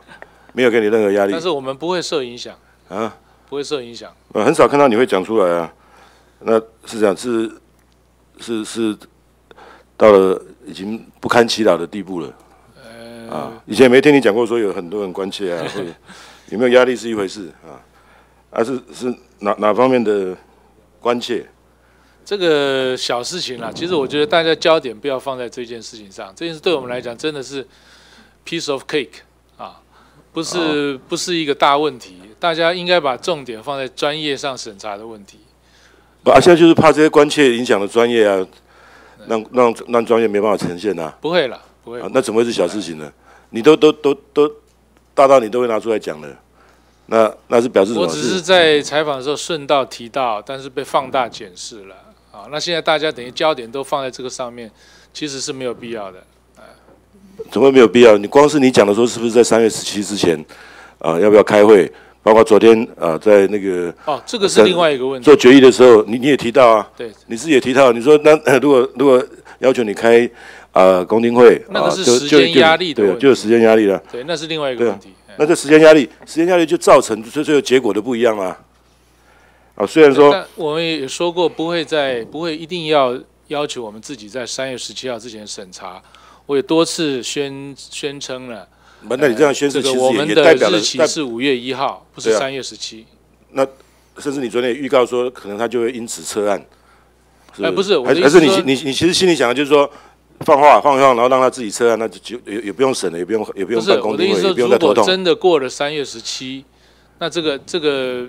病患破局的话，那对他来讲，我们继续审也没有实意了。那当然他就有可能来撤案嘛。所以你的意思说，很多这种重大案件常常都有人关切，所以他是 piece of cake，没关系 啊，就不用去管他，是这个意思吗？啊？那是不是每一件你都能够这样啊？这个心如止水，都不受影响？基本上是的。基本上，所以会有会有例外吗？我想问的 例外就是远传并庄家这个案子，我们很难得的看到公平会可以说非常贴心的量身定制的，等于是帮远传在解套。虽然洋洋洒洒说做了三个附带的限制条件，那条件一来也无从落实，二来啊这个也没有法则，啊，令人诟病的是，大家觉得公平会做了这样的一个决议，等于是在未来 NCC 做决议的时候帮他背书，帮他量身定制。我不晓得公平会理论上是就是不是有限制竞争啊？是不是？啊，违反公平交易法的相关的规定，但是整个通过的这些限制里里面，第一个让大家诟病的就是先把远传排除在申报人之外。光是这一点，这个哈，我跟委员说明一下，因为公平法有它非常严谨的对结合这个概念的定义。好，我们。必须要依照法律的规定去审查他是不是公平法所依照法律，依照法令就是你也要排除这种脱法行为啊。远传的发言人自己都讲说，因为是现行党政军条款的规定，所以他们只好用这种以债作股的方式。这明明就是一种脱法的方式，脱法行为嘛。所以你也是念法律的，那你这脱法行为，你现在用公平会的这样的一个的的的的的决议来替他背书，好，为什么？为什么？为什么远传就不用不用申报？他至少有业结合啊。那叶杰连连你们还还自己在在你们的决议里面，还给他写的，还帮他写的，还帮他背书说，啊，这个呃，他只是个外资啊，是为了投资啊，看不出来他还想要，他会还会异业结合，还还还替他解套。不是我们所谓的结合啊，在公民法上一定要取得股份。然后说啊，申报人上午上午前开公司进行跨越资金计划，他没有计划，他他他你有看过了吗？他你说他现在没有计划，所以他就他就没有没有跨跨越经营。防的就是说他透过其他的方式来控制，啊，譬如他透过咨顾问的咨询啊，啊，那你怎么查嘛？我问你怎么查嘛？那之后查到怎么办？啊，你要你要撤撤销他的许许可吗？呃，可以啊。你你现在讲的就是，就是你你讲了一堆啊，三哦三大限制啊，每 每个限制里面还有一些什么啊，不得进，不得不得为什么，不得为什么？那他如果派个影子股东呢？呃，影子董事呢？我们用其他方法，公平交易法三十九条哈，对于他如果违反负担的话，有非常明确的法律效果。对，问题是你们这样，你你们列列案去追踪吗？你们有有专人在在在盯吗？你们会对对？如果我后来查到了，那我我们这边特别质疑的说，到底到底是怎么样的情形哈？是不是也因为有人关切啊？也因为有人关心啊？所以你们得从来没有这么设身处地啊，然后量身定制的来帮远传买庄家的案子，看似附加很多条件，其实根本无从落实，也追踪不易，然后。定了这样的一个量身定造的一个通过以后，让 NCC 可以接着说啊，尊重公平会啊，我都怀疑 NCC 他们两两两个说是独立单位。投资，他们的观念是投资，我在怀疑你们结合是不一样，我在怀疑你跟 NCC 的主委两个是是在联合行为，有另外一种联合行为，联合起来量身定制，然后帮。远传买庄家来解套？不会啦，我想我们都各自依照自己的职权执掌，还是各自收到上层的指令？哦，是马英九的意思呢？啊，是毛志国的意思呢？这个绝对没有，我可以在这里保证百分之百的保证，绝对没有，绝对没有，是没有任何人来跟你关切过，没有，一个都没有，一个都没有。这个这个这个案子从头到尾没有人来跟跟你关切过。对，这个案子要跟细品这个比的话。那个中家案是一个都没有，我实在不相信嘞。以我对徐旭东董事长的了解，我实在不相信了。真的，这这点我我真的是可以确实保证没有。他连我都要都想都想来 来影响我，来关税我，来来关切我了。但是他不敢到我们这里来啊！啊，他不敢到我们这里来。啊，诸位，我觉得啊，是你讲的哈，其实是你们始作俑者啊。根本就是，我觉得就是两两个所谓独立机关的一个联合行为了哈。那洗手帮啊这个远传买庄家哈，来量身打造啊，让他可以通过哈。那现在大家还在投审会啊的这个 审议当中了哈。对，投审会还没过嘛。那你最好保佑他不会过哈。他如果过了以后，我看我们就等着看，到底未来啊公民会有没有真的落实你你所讲的各种的啊这个监督的机制，然后事后有没有？我们一定会因为他的违反的很严密的，然后来来做出你们应该做出的的的一个啊该有的处置了哈。是啊，这个我们等着看哈。所以你最最好期待他投审会不会过哈？你的看片排就机灵，要不然哈大家就走着瞧。另外，对。跟国外相比哈，我们的检举奖金哈，所谓检呃检举违反联合行为的奖金保案办法哈，大概呃有那个什么呃什么程序的证据资料就十万最高十万呐哈，然后都都国跟国外比起来哈，都实在是相对实在太少了啊。你说呃，比如最近的一个砂石厂的一百六十万的罚款哈，那检举人最多拿到八十万。啊，联合行为哈实在不容易发现的，所以才会有这样的一个检举办法。那结果你给这么低的薪水，啊，八十万的奖金，跟以后可能失业，甚至可能砂石厂那个是那个是都黑道在经营的。其实我们是分可能有生命的危险啊，分等级的啊。那啊，去年的十月，经济委员会也有做过决议，要求公平会要将检举奖金提高。对我们而且改善结果两个月内提专案报告啊，提了吗？哎，我们草案已经出来了，也正在研拟当中，正在审查当。十月到现在已经几个月了啊？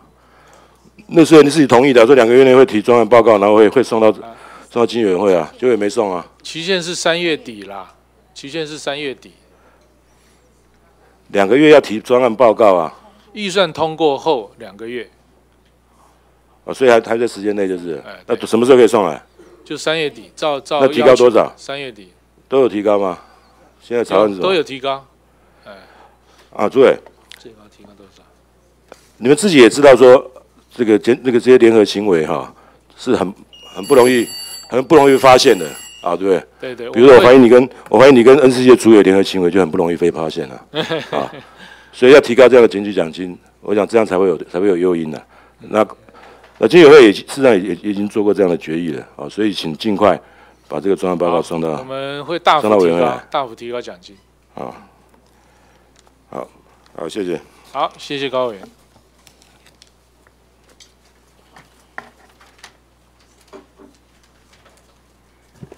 好，谢谢，谢谢我们高志鹏高委员。接下来我们请徐有明徐委员。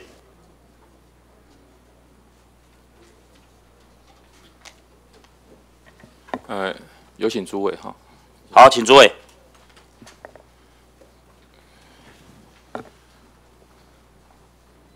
徐委你好。呃，你好。呃，主席，呃，各位先进，大家好哈。这个先感谢主席哈，因为我之前之前跑大门口去声援三二四这个追求真相的一些律师，好，所以跟主席换了时间哈。这个非常谢谢主席哈。呃，主委你好哈。你好。呃，因为刚才。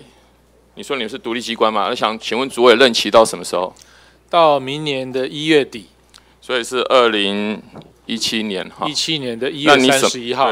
那你什么时候当主委？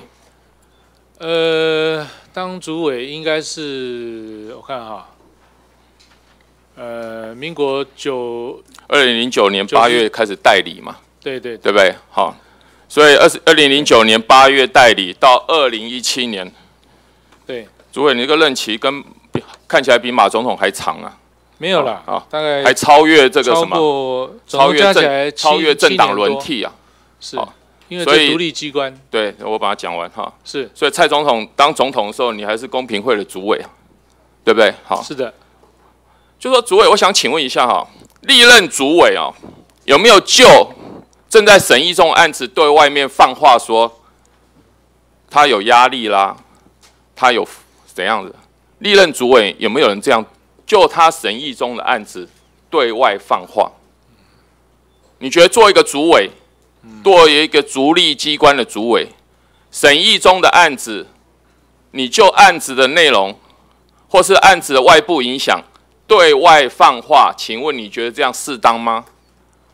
呃，其实我并没有对外放话了，坦白讲。你说谎。是是。报纸登这么大，昨天我们的主席拿出来大家看，今天说没有说谎，今天说没对外放话，都记者的错。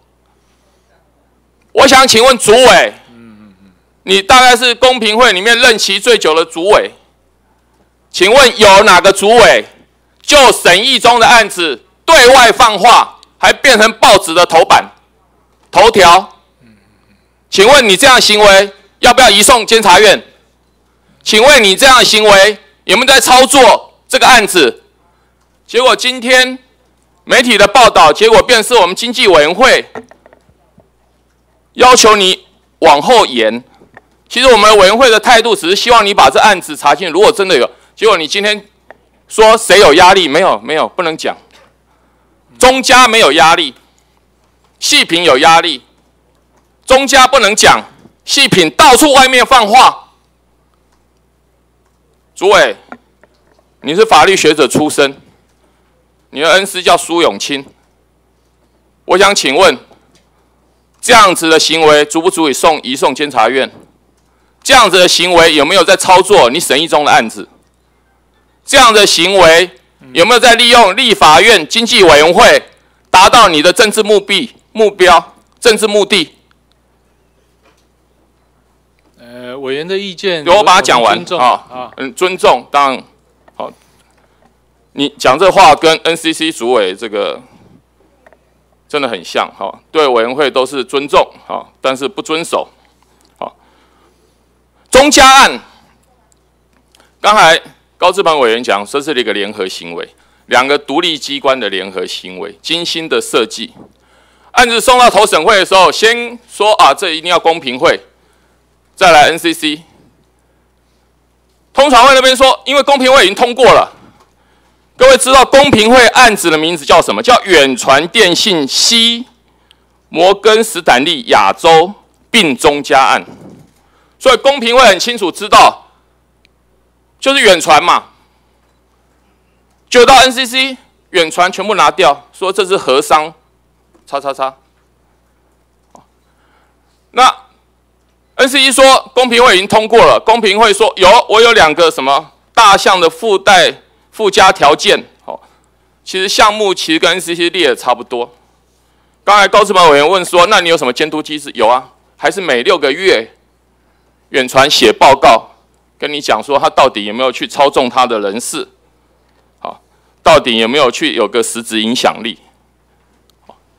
其实把你们两个报告并在一起看，我都有点怀疑，不知道谁抄谁的。所以我觉得我们委员会昨天一直针对 NCC 或是经济投经济部的投审会，其实我们好像有点抓错重点了。重点就在公平交易委员会开了这个头嘛？这个我要问细平安。好，最近前阵子大家在问你哥哥的事，一个是负责收手续费的，哥哥负责收手续费，弟弟负责怎样？我哥哥没有负责收手。我把它讲完哈，我我只是一般的白话，他是在开发国际。投资股份有限公司任董事长，好，他这个公司的相关，他现在已经不是那一家公司。我把他讲，我知道他不是，好，我等下会跟你讲他什么时候改的。他的相关企业之一叫开发金的子公司，这个证券公司负责日月光并购细品，这有没有收手续费？而且股价上涨还会影响这手续费的什么？我是不清楚。你这八年哈，一直到二零一七年，就蔡英文也管不到你，因为你是独立机关嘛哈。这过程里面，这八年啊，你哥哥到底在这八年扮演什么角色啊？这个新闻爆出来以后呢，你说你哥哥上个月就辞职了。上个月什么时候辞职？我们去查资料。好，我们发现三月一号下午两点的时候发文说要辞职。好，各位案由叫什么？董事长变更。所以主委这有没有说谎？三月一号不是上个月啊。坦白讲，这个我不清不是很清楚，他哪时候我并没有去查。你等下，你现在要不要打电话给你哥哥问一下，到底你上个月的辞职，你要不要换时间？你要不要更正你的说法？而且上个月，那这个案子上个月还没进行吗？是这个月进行吗？当大家注意你跟你哥哥这个所谓政商关系的时候，你立刻放出来说啊，我有压力。你知道委员们多同情你啊，想说我们的公平会主委受到压力，不知道是不是黑道威胁，哦，还是长官压力，还是恩师打电话来。昨天给你多大的支持，结果今天说没有，记者写错。你觉得立法委员这么好操作吗？我不是说记者写你你你觉得媒体这么好操作吗？然后问到你哥哥说上个月就辞职了，结果上面写三月一号下午两点急着变更董事长。那请问你哥哥现在还是不是董事？这个我不清楚，你现在要不要打电话问他？那请问，就你的法学素养，嗯，董事算不算公司负责人？有一个报道，不知道你有没有注意到，《经济日报》他说，纵使我我哥哥现在还是董事长，都不需要回避。我知道，我知道，好，我因为我知道你很喜欢使用媒体，好，好，所以《经济日报》算是一个判决了，是不是啊？委员，呃，主委，我的意思是说。那他干嘛要辞啊？那是他个人生涯的规划啊。他干嘛要辞啊？我跟当这个事情爆发出来的时候，你也可以讲说，我哥哥当董事长跟这事情没关系。可是你要急着讲，他上个月又辞。第一个说谎，他根本不是上个月三月一号才递交变更申请。第二个，辞了董事长还是董事，不算公司负责人吗？这有差别吗？他就离开。如果你的立场这么坚定，你哥哥对你的影响没有，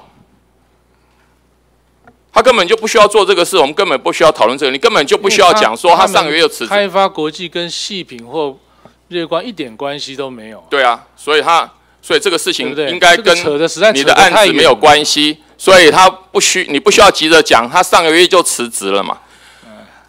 主委，我的意思是说哈，从细品案。从中家案呢，我觉得你是一个政治性格很强的主委。就像我前面问的，公平会有哪个案子正在审理中，主委对外公开放话？请问一个独立机关的行为应该这样做吗？你这样的行为不足以移送监察院调查吗？做一个独立机关的主委，可以对就审理中的案子对外面讲说我压力很大吗？当立法院经济委员会介入之后，就开始讲没有，这是大家误会。你这样的行为是非常可疑，可能是违法的，可能是需要监察院加以调查的。谢谢。可以，我都尊重，没问题。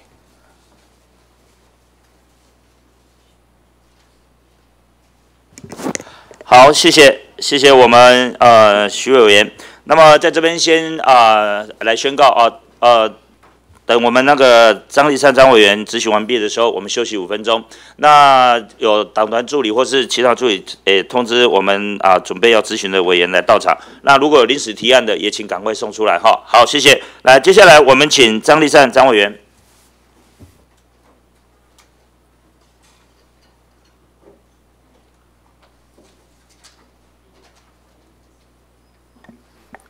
呃，主席，我们请公平会主委吴主委。好，请吴主委。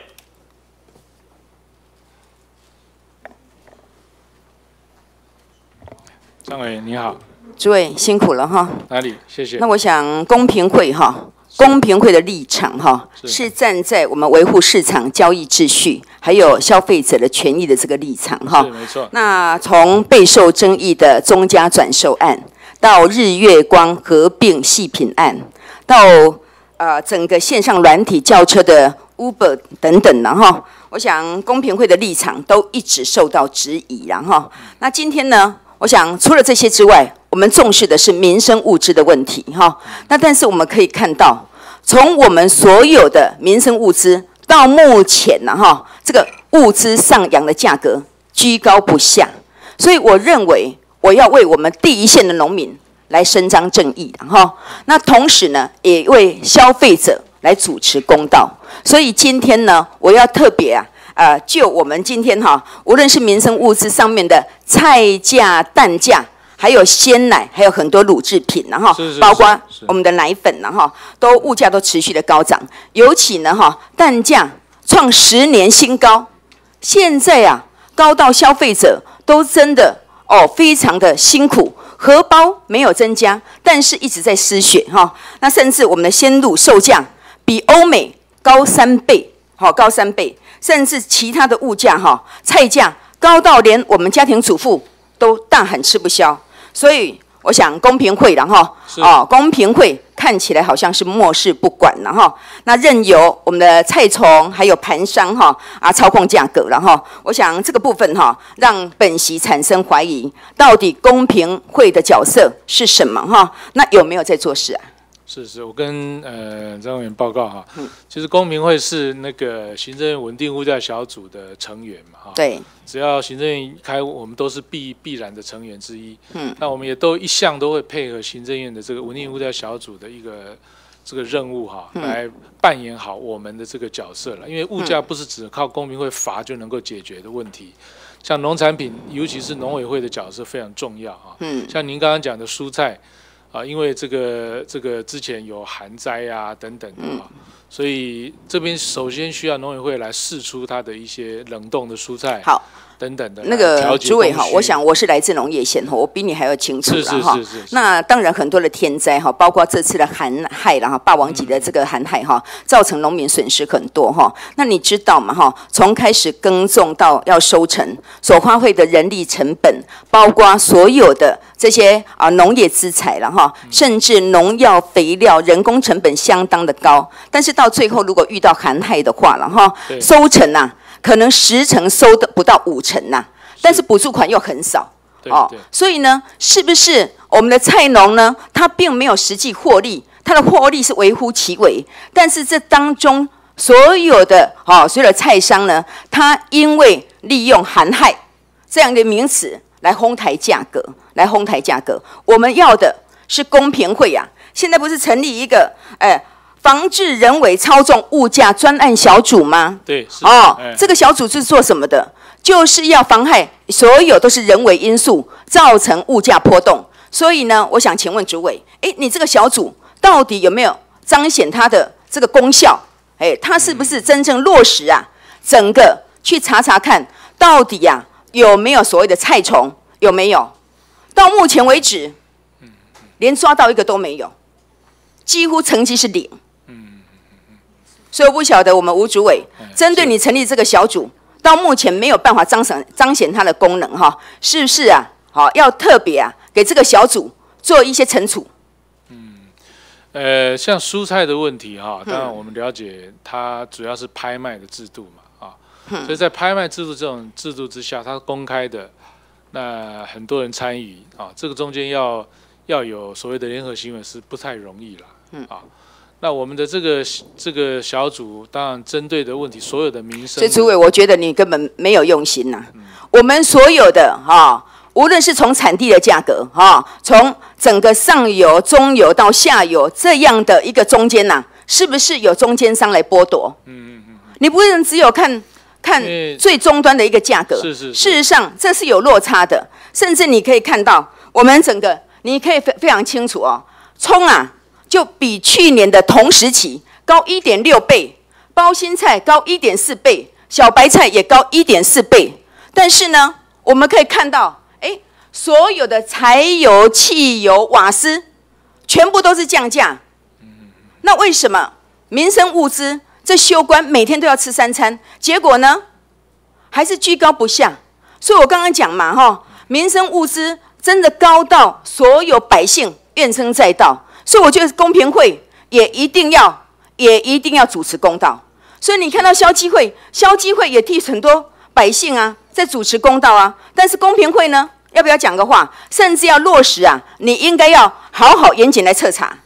嗯，是的，其实我们对任何的品相哈，它如果有价格上有这个异常的波动的话，我们都会去了解，呃，然后派员调查等等的哈。那如果有发现联合行为的证据，我们当然就会处罚。过去也有一些处罚的案例在里面，这样。所以我请问主委哈，本来农委会还有主计处了哈，他们都说哈啊，因为啦开学啦哈，因为寒害啦量减少了哈，很多很多的因素。哦，他们甚至说到元宵节过后，物价就会回稳。那元宵节过后啦，我不晓得现在物物价回稳了没有？要看哪一个品相，因为物价是很广泛的哈。就我刚刚讲的菜价回稳了吗？菜价我是听农委会那边呃讲，是说大概要三月中以后会比较稳定。现在其实都已经在降了。好，那我我我重点呢，还是中间商的剥夺了哈。那另外我要讲的就是蛋。蛋价是是每天呐，我想大家为了身体健康，大概都说，哎，至少每天一颗蛋嘛，哈。那我想这个基本的营养哈，应该啊，这蛋价目前是创十年的新高哦，而且高涨的幅度相当高，现在连批发价都高到，哎，一台斤要四十二块，以前正常的价格在多少？在二十块到二十五块，现在已经高到两倍以上了。主委，你没看到吗？还是你？不吃蛋，我我天天都吃。对呀，是那还是你太太哎，荷包反正很丰富嘛哈，所以差没多少了，对不对？不是。但是很多民众倒是哎，这高两倍以上，大家都叫苦连天呢。要体恤我们的所有乡亲，好不好？好，这我希望就说蛋价到目前创十年新高，那我们对于蛋价有没有办法维持一个？基本价格，甚至呢，哈，有没有办法让它平稳？有没有办法？呃，公平会还是要看他有没有违反公平法，我们不能直接去干预那个价格了啊，因为这个不是公平会所能做的。那公平会能做什么呢？呃，就是看他有没有用违反公平法的方式去影响价格，譬如说联合行为啊。对呀，那我刚就讲啦，你所有成立的专案小组里面，就是要做这个事情啊，对，对不对？但是你纵容他。持续不不降，我们其实有去了解啦。啊，有了解没有功效啊？了解它原因。那个主委是，还有我们所有的鲜乳啊，好鲜乳的价格了哈。我要告告诉我们主委哈，我来自农业县，现在你们所有吃到的这些啊鲜乳啊，大概七瓶当中就一瓶是云林县出产的哈。那所以呢，你看看我们的价格，你光看看洛农啊卖给叶子的价格。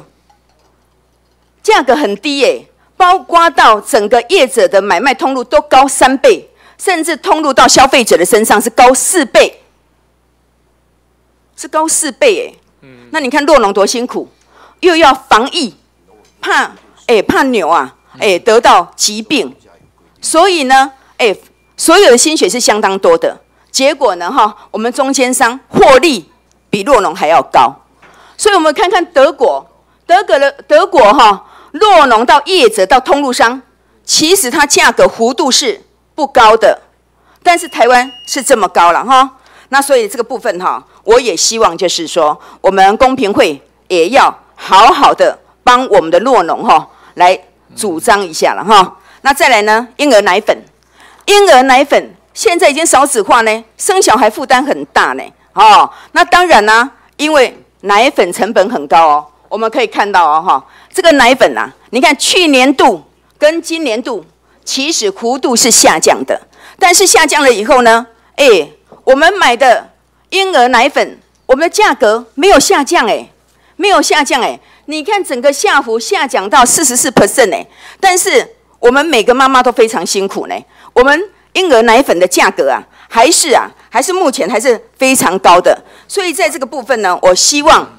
综合以上几点，然后所有的民生物资啊，我们希望公平会真正要哈投入更多的心力来关心。所以我刚刚讲的，无论是菜价、蛋价、鲜乳，还有婴儿奶粉，这都是重要的民生物资了哈。所以我希望主委站在所有消费者的立场，也站在辛苦的农民的立场，希望好好的为我们主持公道，为我们伸张正义哈。我希望就是说，我们所付出的哈是要给。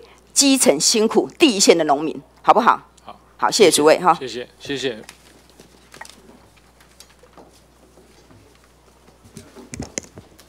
好，谢谢，呃，谢谢我们张委员。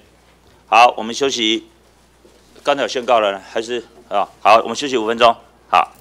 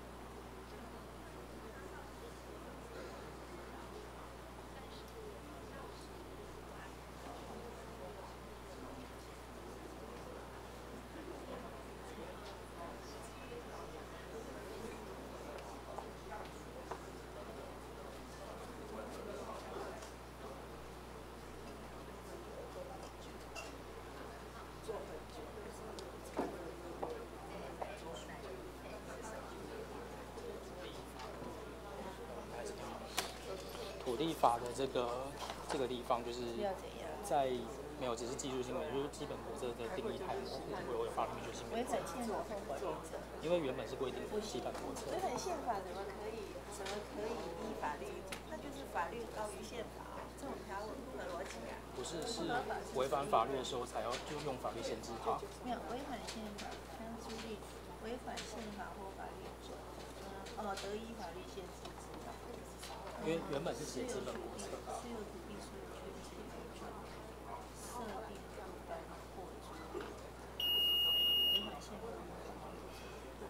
奇怪，这为什么需要这一条？违反法律就是已经有法律了啊。对，你说的对，只是 与其全部删掉，我想说就是他原本有这条，把它修好看一点。他之所以，所以啦，所以其实原来才？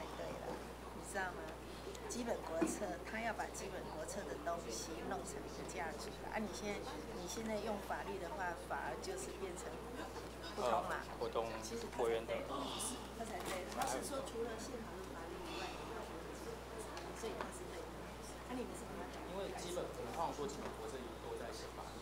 对呀对呀对呀对呀。但是基本国策毕竟毕竟没有，如果基本国策没有经基本国策没有被法律落实。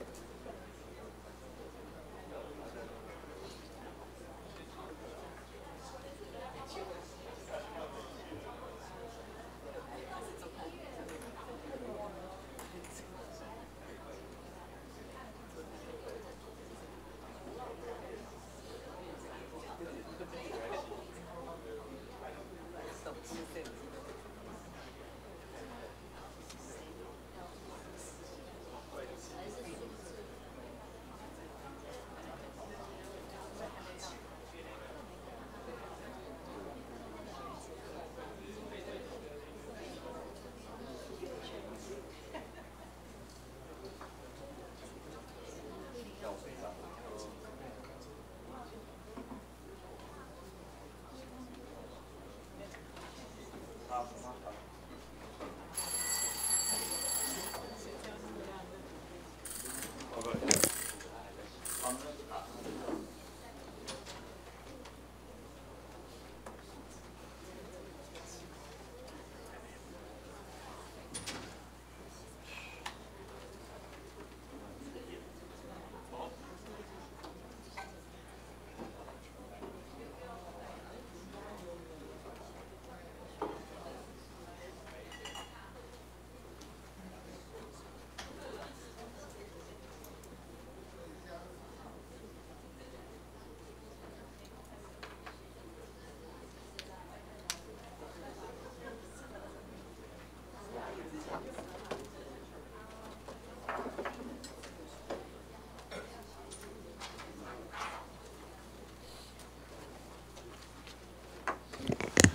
好，谢谢。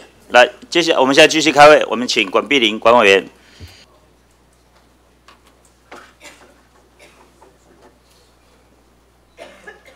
谢谢，呃，主席，我们请主委。好，请主委。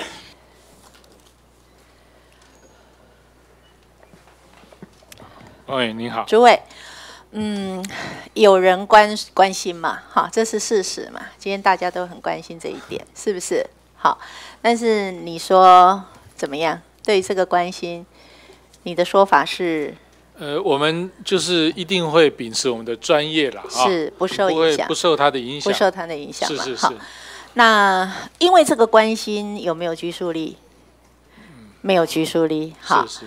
那昨天我们委员会的决议有没有拘束力？有。有吗？委员会的有什么拘束力？呃，其实是这样。你你学法律嘛，对不对？对。有没有拘束力？呃，严格讲了哈，严格讲是预算案的预算案的附属，对，才有措施法的这个效力。所以就昨天的提案有没有拘束力？我们能够遵守的哈，能够办到，我们都会。我问你有没有拘束力啦？高度尊重去，这就像你的长官，如果给你关心，你也是啊，能够能够做到的，就尽量尽量配合嘛，是不是？那昨天我们委员会呢，我们委员会的决议其实是没有拘束力的哦。你学法律哦，没有嘛？所以只要你觉得挚爱难行，好，而且它生效了没有？它还没生效。你说决议啊？对呀，昨天的决议也还没生效啊。呃，决议通过不是就生效了吗？你在这里糊弄，要确认，不像学法律的，你不是认。你如果这样回答，你不是认，不要，你就是太滑溜了。不是，我是不需如此，不需如此。你不了解的话，你赶快辞职，太不是任了。请指教，请指教。对啊，函还没有到你们那里啊，还没经过院会啊，哦，还没生效嘛？确认的这个。是吗？是是是。可是哦，今天哦，昨天的委员会哈，全部被你指控成为。日系恋破功，势必破局的戴罪羔羊。没有啦，我没有指控。有，这新闻一操作，你看看吴秀明说，不要说加开两场公听会，光是在三月十七日前要厘清问题就已经很难了，加上公听会，岂不是难上加难？不过。既然经济委员会作出决议，且公平会的审定日程其实是五月一日，没理由拒绝，也不需要跟经济委员会对抗。若三月十七日实在难做决定，也没办法。嗯，主委，其实你心中早有定见，选择性的双重标准，在面对不同的个案跟不同的情境。中家案，你选择的就是替他背书护航，用法律的专业的见解，用公平会的专业的决议，去切割远传入主第四台的事实。而日系列，你是选择让他破局，然后用委员会的决议作为你必须遵守，所以三月十七号不做决定的借口，又还没有开会。你怎么知道三月十七号不会过？嗯，而且中加案也很多问题，你就可以用负负担让他过。嗯，日系列如果有问题，可不可以用负负担让他过？可以啊。但是你完全对，它也是一种选项。但是你完全不谈这个选项，你用一个框架只谈一个选项。我有谈，只谈一个选项就是他会破局。我要尊重，我要尊重委员会。其实昨天的案我没有签，为什么没有签？我刚到经济委员会，对于中加案这一种案件，它涉及政治性太高，它是国家言论自由。能不能被确实保障，非常重大的议题。所以，虽然 NCC 是独立机关，但是国会对于个案的监督，因为它涉及太重大的国家的公共利益，所以我们会深入到千方百计去阻挡它。但是，以日系链这样的一个产业秩序上面的个案，它到底政治性有没有高到立法院要就这个个案尽全力要去主导它的进度？这一点我的疑惑未解，我才刚来嘛，一个礼拜嘛，我的疑惑未解，所以我没有签昨天的这个案。这个案到底是 yes or no，其实是不同的价值选择。如果是 yes 的话，涉及的就是台湾队如果能够有一队，他在全世界立于不败之地，而且可以完全杜绝中国的取代，这是他的优点。他如果是 no 的话，那就是说，哎，我们也可以日系列，我我们也可以让台湾队有两队，但是可能它的风险就是，既然你过去会去找紫光，将来你还会不会去找华为？会不会去找中兴？我们不知道。未来中国会不会在这个空间之下，造成跟台湾在封测产业上面国际上的一个竞争？所以，其实这个议题，yes or no，各有它不同的价值选择。其实委员已了解已经蛮深入了。是。可是，主委，你不应该介入媒体的操作。让主要的氛围完全让这件事情没有理性讨论的空间。对，其实我也在呼吁，就是说媒体说不要把焦点放在这件事情。其实你是本席所看在部会首长当中相当优秀的一位，技术面不敢不敢相当的优秀，但是你的领导面、你的 commitment，我觉得不够。嗯你有定见，但是你为自己的定见，有时候勇于负责，有时候就趁机开溜。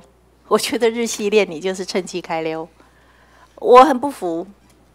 我才刚来这个委员会，结果这个委员会变成你的替罪羔羊。我要替委员会讲话。你是独立机关，你知道昨天的委员会还没生效，你也知道昨天委员会的决议没有法律的拘束力。只要来个函表示挚爱难行，你就可以不受他影响。没有，其实我也跟记者讲，纵使没有这个决议哈，我们在三月十七号之前是要要对那些疑点要厘清，本身已经不是那么容易了。那你就不要操作成是因为这个事啊！你讲那个话，你看日系链公听会，所以造成日系链破局啊。呃，你要不要收回来？让社会上很清楚的知道这件事情，你本于独立机关的专业，你不会受这样的影响。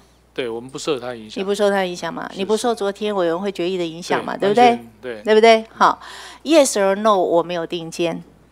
你们本于专业，不可能考虑到刚刚本席所谈论到的课题，对不对？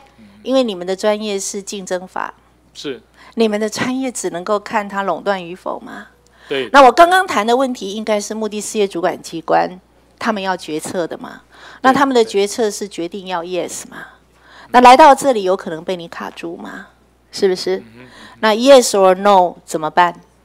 其实本席看太多政府部门的运作了，像这种案，你们没有联审机制，嗯，你们没有联审机制，其实这种案。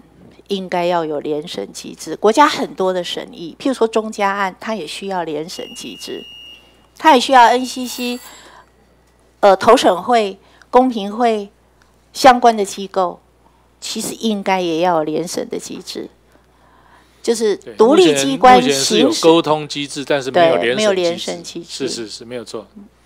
当然，独立机关跟联审基本上它也有内在的矛盾，但是。或者是行政一体，虽然是独立机关，它其实也是行政一体。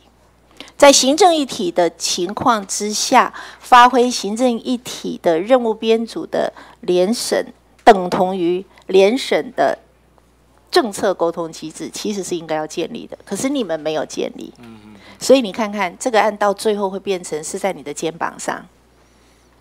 因为所有都其他都通过了，然后来到你这里，你要 yes or no。变成是你的责任了，变成是你的责任。好，那如果我回到，其实本席今天是要谈你的专业的业务哈，我看时间也不够，那我就继续把它谈完好了。那如果说以你的专业，到底是合并符合国家在这个产业上的国际竞争，还是不合并比较符合国家在这个产业上的国际竞争？是跟委员说明啊，这个就是一个很大的问题了。那呃，我们在判断上有好几个有更细的一些标准好，那这些标准都需要很多的这个资料啊，很多的调查去证明它。我举个随便举，譬如说单方效果、双方效果、抗衡力量啊，没关系，你有看法了吗？等等，是。那三月十七号到现在，我相信你不可能到现在还没有看法啊。我们呃，其其实委员会都开了好几次讨论，会前会也开了更多更多的会前会啊。是。那对于某一些问题，比如市场界定啦、竞竞争分析等等，我们有一些进展了啊。但是我不敢说对每一个争议问题都已经有定见了。其实我们呃委员会其实也都认为说还没有到达成熟的对于每一个疑点我们都可以确定的程度这样子。所以你不愿意在这里表态，我也不会为难你，因为其实说实在的，本席没有那么深入。好，我不知道这件事情到底展望于未来会发生什么事。如果今天你把责任都推给委员会，我只是替委员会设想。如果你把责任都推给委员会，然后破局的责任是在委员会廖国栋委员昨天的提案，那未来如果细品再去跟中国合作，然后让中国在封测产业上面取代台湾，或者是变更了台湾在这个产业国际地位、国际影响力、它的市占等等。如果是那个时候，我不知道委员会扛不扛得起这个责任，所以我一定要在这里厘清这一点。好，我一定要在这里厘清这一点。那我也希望诸位，我们都从学界来，我昨天的话是讲的重了。好。但是其实，远传入主中家就是实质。今天的头版头条那个法律的判决就是实质见解。否则的话，所有这些医生，他们一切都合法。嗯，他们一切都合法。对。但是被当作漏税，被当作逃逃税，就是实质审判嘛。可是你们对中家却摆脱实质审查。这就是我讲的允诺，你们的 commitment 是什么？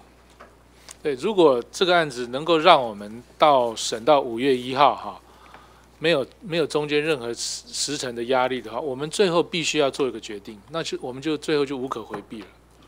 好，嗯，我希望我们好好相处，是是，不要让我每一次都要骂你骂到很不堪，好不好？那你看，我昨天骂你，今天还是要骂你。这个新闻你这样回答的操作是错的，彻底是一个推卸责任、借机开溜的操作。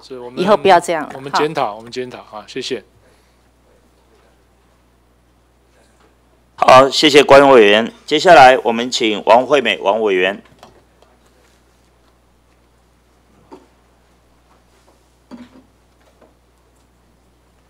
来，主席有请诸位。好，请诸位。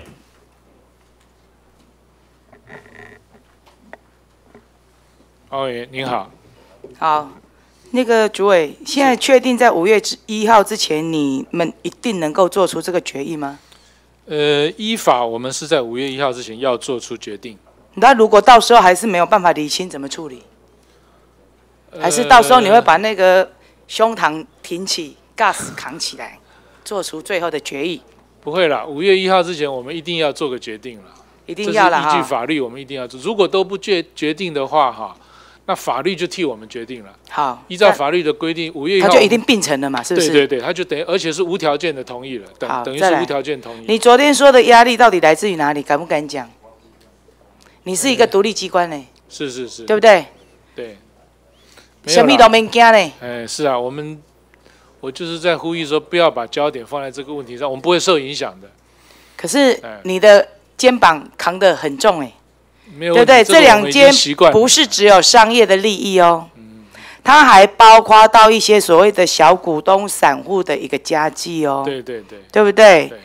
那如果说有特定的人士来施压的话，我是希望你能够具体说明。你忙安尼，我得来丢来凶了哦。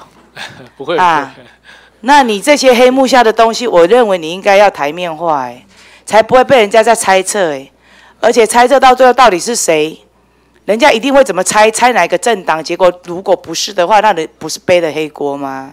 所以，我还是建议你应该是要台面化哈。再来，我们都知道现在呢，在这个 IC 的这个相关行业啊，大部分都是大者恒大的一个发展的一个路哦。那我想要问呢，就是说，就你现在所了解的，台湾前两大封测大厂的结合，让世界第一更加的稳固，但是不是有这个必要性？这个是第一点。嗯。第二点，一加一有没有大于二？是不是可以请你回答？这个其实就是这个案子最大的问题啊，到底是组一队国家队啊，来到世界上去打世界杯呢，对不对？还是说两队都很强的两队去打冠亚军？IC 设计。设计业者哈，或者哎，晶圆制造，对不对哈？呃，这些这些其他产业的例子，如果两队他们良性竞争，彼此激励啊，是不是会更好？这个其实就是最最大的一个问题啊。所以到现在还是没有定见。呃，我们试图用一些更更细的一些标准去分析它。那本席再请教。就民调结果来显示，嗯，投资人里面有百分之七十点七趴的人，他是支持的；非投资人也有百分之六十点九的人也支持。所以整体来讲的话，民调他是支持的。那我想要请问，投资人的态度是不是会对你公平会准许与否的考量之一？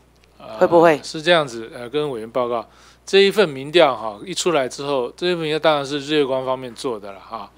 那细品这边立刻就反映了，认为说这个民调不客观啊，等等等等的啊。所以这个民调我们只参考了，参考。那你可以更积极啊，你可以更积极啊，你也可以自己做做看呐，对不对？好，再来我再请教一下哈。那因为我们这两个大厂大部分的产品几乎都是外销的嘛，对，对不对？对。好，那我们大概占市占率是高达，在大陆的话是高达百分之八十，美国有百分之六十嘛，哈。那两地的反垄断审查结果也是会是个关键，哈。是的，没错。那我想要请教，大陆商务部对日月光细品合并案的态度，是不是也是你们准许与否的考量之一？这个我们完全不考量。完全不考量。对，大陆归大陆的，我们我们考虑我们的。美国呢？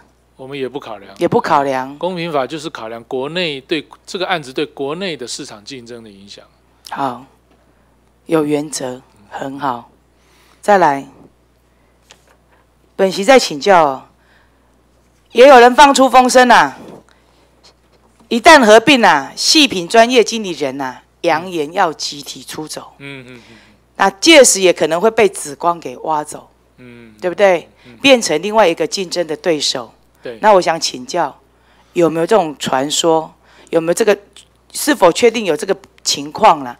那你如何来避免双方的这个两败俱伤，让我们台湾的半导体供应链啊来产产生缺口？那这个是不是又是变成就说你们准许与否的考量之一啊？呃，这一点哈，就是并购之后会不会因为人才的出出走哈？因为它又是敌意的并购嘛，哈，文化两两个企业的文化风格不太不太一致哈，会不会因为并购的关系，那某一方的人才就出走？那出走当然就代表说，这个国家的竞争力会产业竞争力会受影响，甚至于技术创新研发都会受影响。对，那这个当然就是我们要考虑的。好，那我们有注意到细品的高阶处长以上高阶主管，有一天在报纸上都有有这个说说法了啦，要同进退嘛，哈。嗯。那但是呢，日月光这边他们也提出保证，嗯，说一旦并购的话，啊，细品的人他全部都会依法留任啊。但是我们这个是台面化，对我们当然我们不会说只是因为他们的主张就相信任何一方啊。那但是我们现在就是说要考虑这一点，但是。要怎么样来确保这一点？哈，不要最后一点是要说要再进一步的发动收购的一方的企业形象，你们会不会考虑在其中？嗯，这是细品蛮担心的一件事。一个企业它过去做了些什么事情啊？我们当然要考虑。他虽然再三保证说他未来会怎么样怎么样，可是过去是已经是事实，未来只是一个 promise。啊，所以过去他怎么做，我们当然会会做，又会有若干程度的考虑。好，拜托你神圣考量，以国家未来的产业发展为主，把你的 gas 扛起来，好不好？谢谢王委员的好，再来我再请教啊，福斯汽车排气造假。对。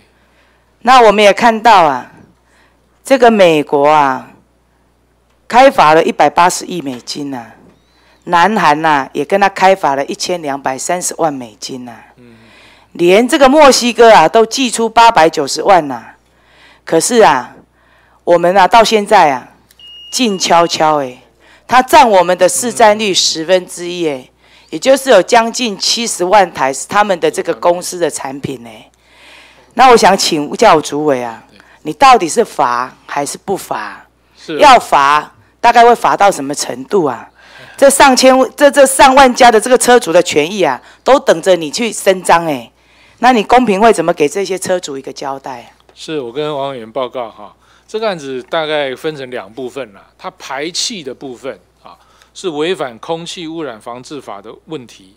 那这个部分不是公民会主管的，是环保署来主管。环保署可以依据《空气污染防治法》相关规定呢，予以裁罚。哈，那我们是罚什么呢？我们是处理他的不实广告。哦，假如他在广告中说这个这个车子怎么样环保？怎么样？怎么样？排气问题怎么样？如果罚了吗？假的，我们正在调查当中，还在调查几个月了。呃，我们要收集更你们的人员不足还是怎么样啊？不会不会，我们这个案子很快就会。那你觉得一个案件要调查多久才会有结果啊？通常哈，我们审慎一点的话，一个案件大概六个月了。别的国家都判完了之后，我们还还不还不做决定呢？你们会不会觉得行政效率差别的国家差太多啦？呃，其他的国家它处理的也是环保方面的。环保方面的机构，加油啊！你既然是独立的机关呐，大家就是寄望你很重的这个这个责任呐。那这个案子我们加速好不好？我们加速。再来，今天啊，新闻啊，有一个啊，庆云公司啊，涉及这个变质的多层次传销啊。对对对。这个好像当时是你们主动送地检署嘛，对不对？没错没错。今天的判决啊，一审法官判，哎，无代志了。你有什么看法？呃，后来我们呃了解到那个已经上诉了，上诉嘛哈，上诉对，上诉吸金八十亿，受害人数高达十万人，对，他被罚过七次，对，那一个呢，这个红金安啊，两千块，嗯，卖到四万六，还每个奖金给八千，那法官他认为说，这个骨灰罐啊。售价不明显高于市场啊，对，所以啊，这个判他没事啊。哎，主委，利润很高呢，我们要不要转行啊？来卖这个啊？啊，没有事。他是看所谓合理市价，但是我们认为他应该看他的成本，他成本其实很低的，所以他那个。你还有没有更积极的作为？呃，这个部分，因为它现在是涉及刑事嘛，哈，因为刑事优先，我们必须要先让刑事这边来。所以呀，这个路径不平，气势英人啊！你有没有你的武器？你有哎，他违法违法了几次？七次了耶。嗯。那你就放任他在外面吸金呢？八十亿耶，民众的血汗钱呢？对不对？我们有跟减掉密切。你有没有法？你有没有武器？你有哎。多层次传销法第十八条里面呐，它有规范呐，要以合理市价的推广啊、销售啊、商品或服务为主啊，不得以介绍他人参加为主要的收入来源呐。对对对，他奖金也八千块，是啊，对不对？就是我刚刚跟委再来啊，你违反的话，你可以处七年以下有期徒刑呐，得并科新台币一亿元以下的罚金呐。对，这个就是检察官依照这个规定，他现在在调查处理。好，还有一个啊，你主管机关第三十一条啊，对于违反第十八条的多层次传销事业啊，你得命令解散呐，勒令歇业或停止啊，营业六个月啊以下，你做了吗？你放任他继续外面吸金，哎，十万多人呢，八十亿呢，没有那改观，当时就被提出你的驾驶来啦。呃，这个案子啊，其实我们一直都很重视了。我们有专专专门对他做业务检查。你看他这个报纸出来又可以继续，你看我都无代志啊，我都无代志啊，对不对？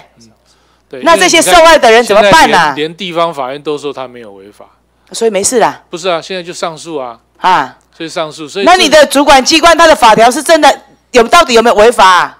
我们是认为他应该是违法，所以啊，那你行政你主管机关你就不能够做处分呐？这就是学者在从政的一个很大的盲点。不是我们不能，你们都白北抓欧力当法将啊，刑事优先。那你怎么去制止他这个刑事判决？你也知道啊，台湾的法律法这个司法一件事情判断下来，你不杀我，你杀我，当干部就结个处分就违法了。因为刑事优先就是要让检察官你你可以命令他解散啊，你可以命令他歇业啊，你做了吗？可是好不好？时间的关系啊，你们去评估啦，尬实力要提出来，不然你最后你最后的你最后就像我们那个管妈讲的啊，被历史定位啊不堪呐，好不好？好，谢谢委员。好，谢谢委员。接下来我们请邱志伟邱委员。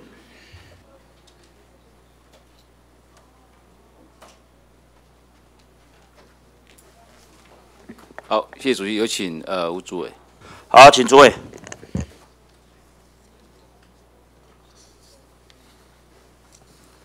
诸位您好，呃，诸位，这个昨天的决议啊，哈，昨天呃委员会的临时提案的决议，呃，针对公听会在四月十五号之前办理哈。是的。这个对呃贵会有没有什么拘束力？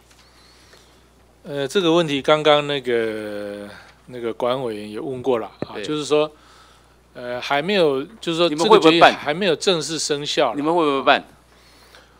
它生效之后，当然我们会尽量的尊重，只要我们尽量的尊重，这太抽象。只要我们能够办理的，这个这个根本就是呃敷衍呐。你说尽量尊重，这个就就这样尊重，你要尊到什么程度？是要遵守还是尊重？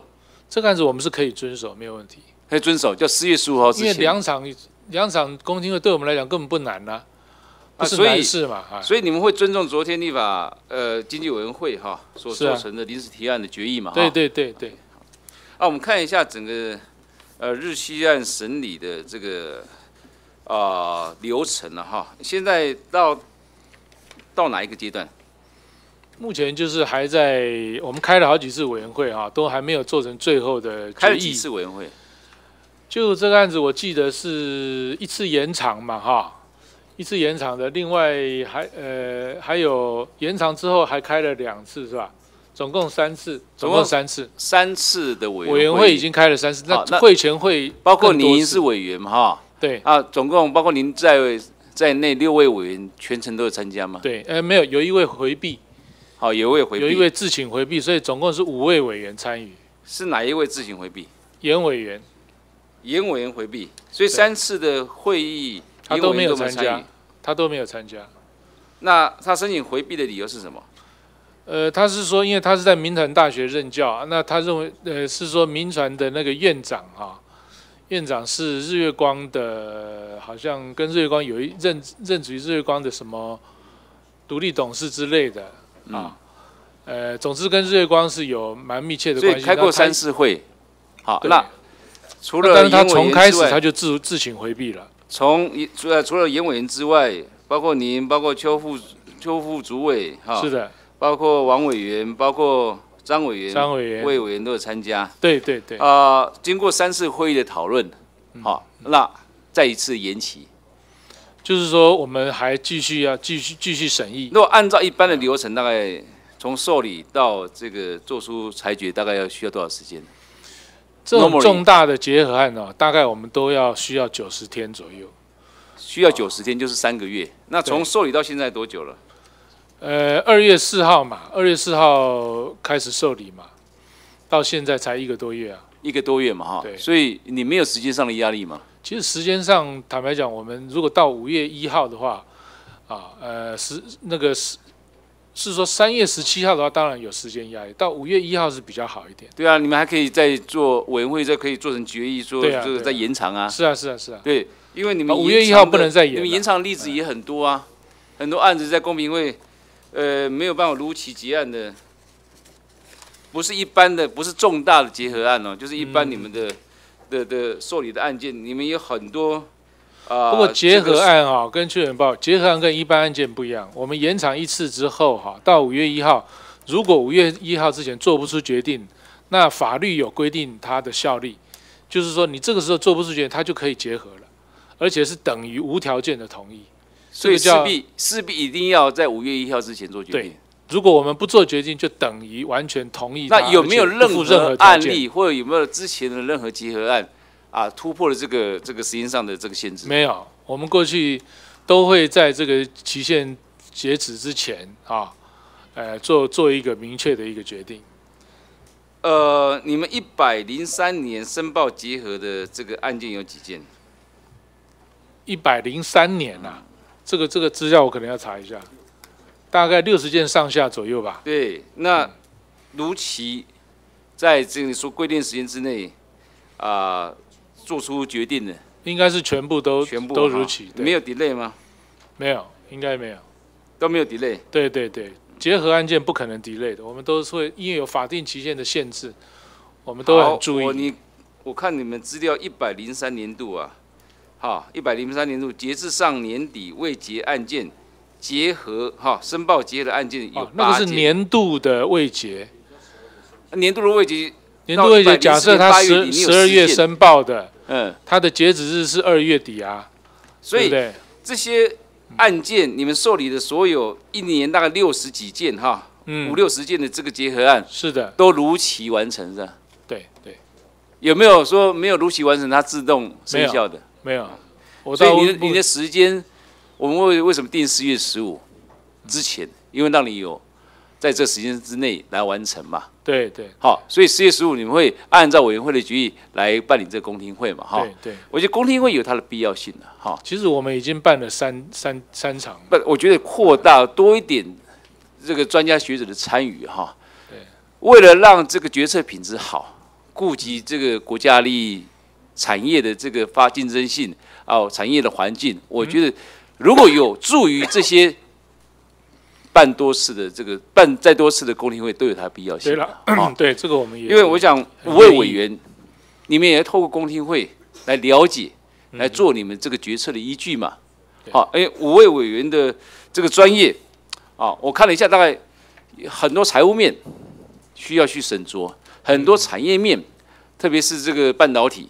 好那五位委员都不是这方面半导体的专家，也不是这个 finance 的专家。嗯嗯嗯。这不，你当然要要听很多专家学者的意见。那这些意见怎么来？除了你们这个同仁的调查啊、收集资料之外，公听会也是一个非常好的渠道嘛。嗯。哦，对对。所以我觉得，呃，在未来啊，这么重大的一个结合案哈，影响层面可以是从啊呃这个国安啊，从产业发展。从这个呃，这个个别公司的竞争力，从这个员工的权益，这个影响层面太大了。是啊，好，所以不可不慎了哈。对。所以当然啊，我也相信你们会本足于你们的专业来把这个事情做好哈。但是我我是不希望有任何政治力的介入了哈。对。那因为是独立机关哈，啊依依法这个独立审理嘛哈，所以这部分。这个超然性跟这个独立性一定要确保哈，所以你说这个啊有有人跟你关切哈，这个一定会有人跟你关切吧哈，那来自于总统府，我昨天有也请教过主委哈，总统府或者行政院没有没有没有完全没有，那你这个你说跟媒体说有人关切那个部分。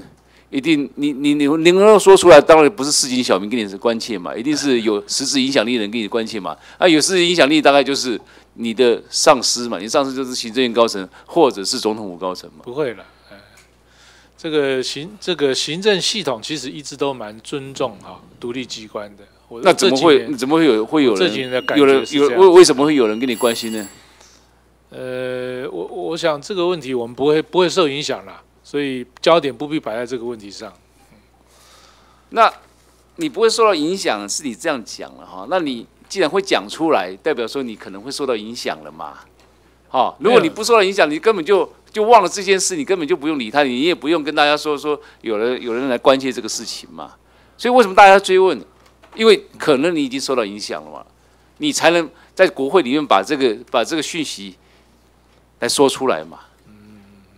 啊，你嘴巴说没有影响，但实际上你心里面可能受到影响。对，而且这个案子也不是我一个人可以决定，所以你不吐不快。会，当然你主委当然是你是委员会议的主席啊，你那主委有一定的那我不晓得其他委员有没有接到类似的关切电话？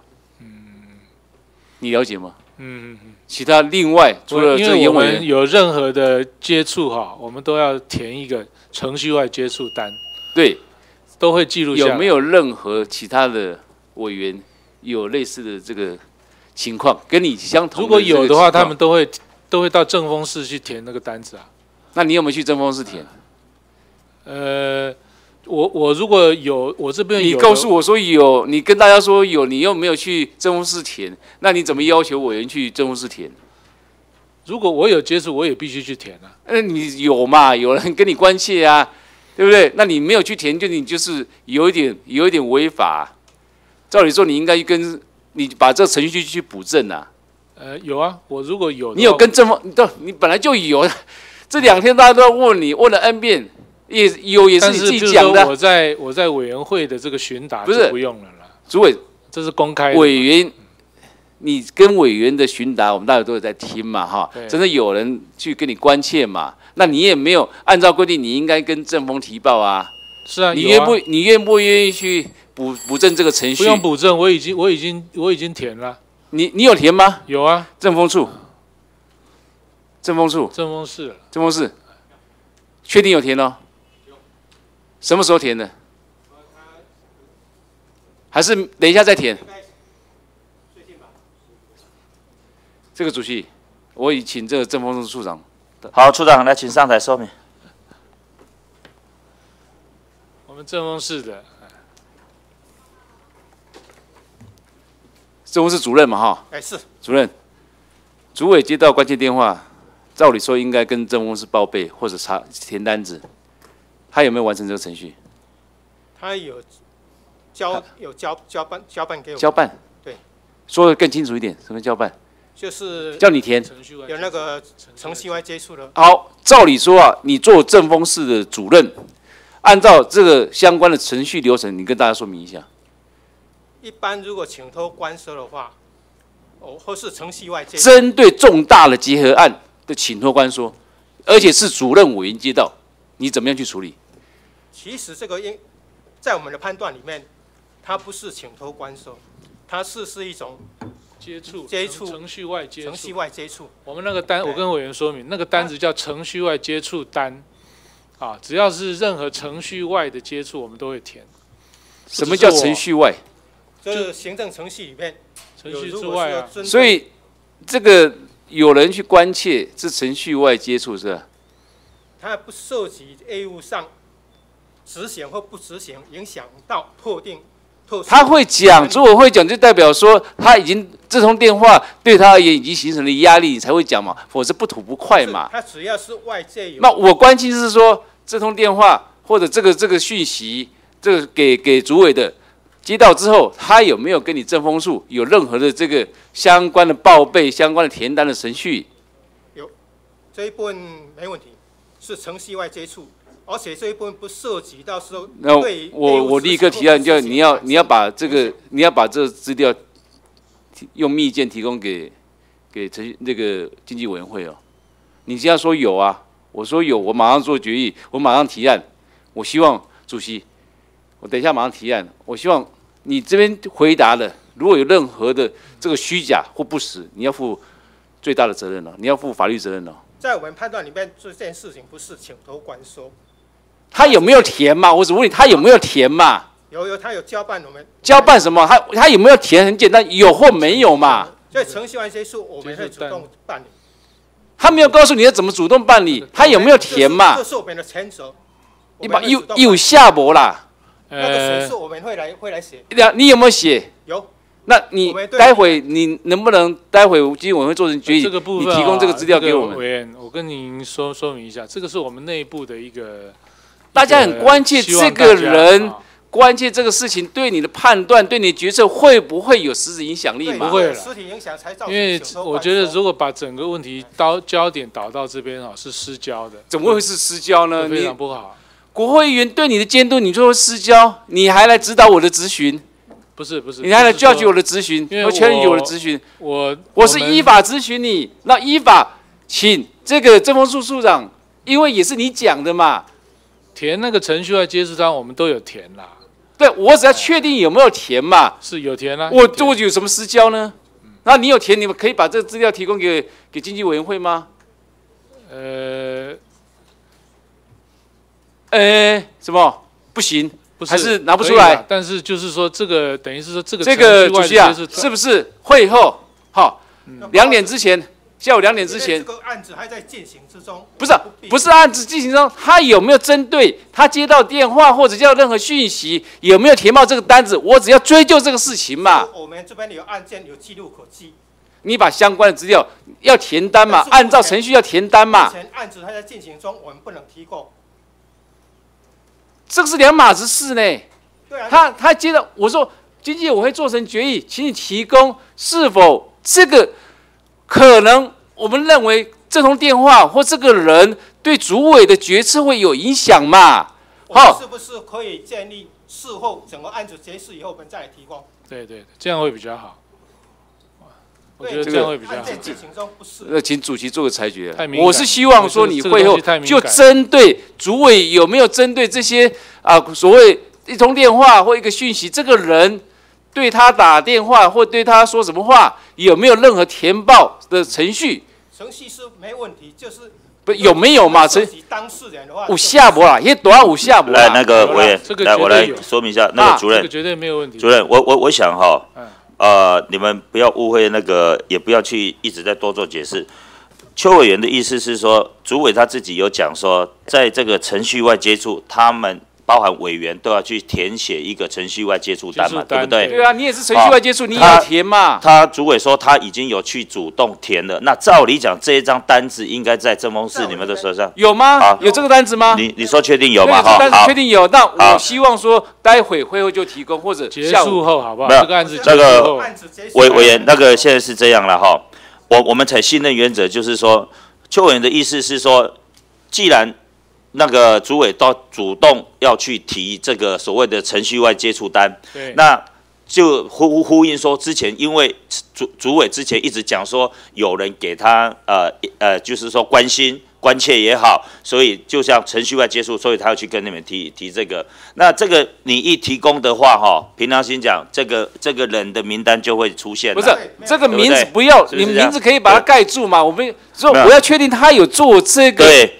好，做这个流程，所以你还可以把名单隐匿嘛？所以，只要现在我要回应邱委员的话，就是说，我们要的就是说，到底，到底我们主委你有没有说谎这件事而已啦。嗯，好，邱委员他刚才现在讲得很清楚，你可以把他的名字盖起来，那到底时间点到底对，到底那个有没有那个有没有照程序去做？公检部高半天主那个政风室主任，我我们不知道你到底有没有在掩护我们所谓的主委，是这样的一个问题而已啦。那当然，如同你讲的，会等到事后你们在整个这这这个案件审理完，你们再提供，那当然都是小事情。邱委员他现在要的是说，主委你到底有没有以身作则去做这个程序单，对不对？是这样，你可以把名单盖起来都没关系。好，所以这个动作，所以做这个哈。做这个哈，我们那个会后再处理啦。所以我们的意思是说，那个主任，这个既然有做，我讲过了，你们到时候回去马上把它处理盖起来。好，我们这个在现场就可以要求你们这么做了。我们要的不，其实不是在那个名单呐。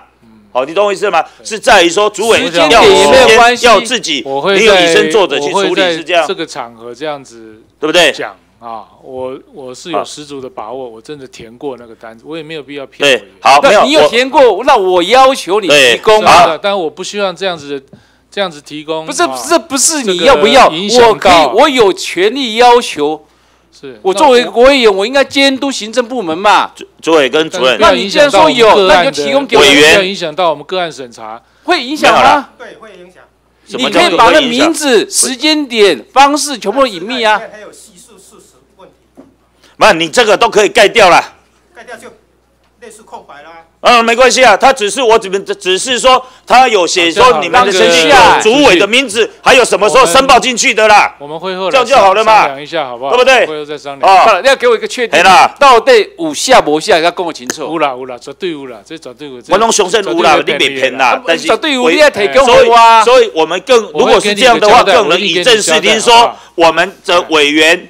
我主委都以身作则，有接到关键对话，呃呃程序外接触，我都有照依法去申申申报这个单子。那也是给这些委员一个一个说法，就是说啊，未来我们审查委员如果真的我们都照这样去做，好，当然我的各位啊，人家去跟你关心关切，有些真的会说吗？好，邱委员他是真的是表示说，我们这个事情我们是做就如同主委你说的，我们都。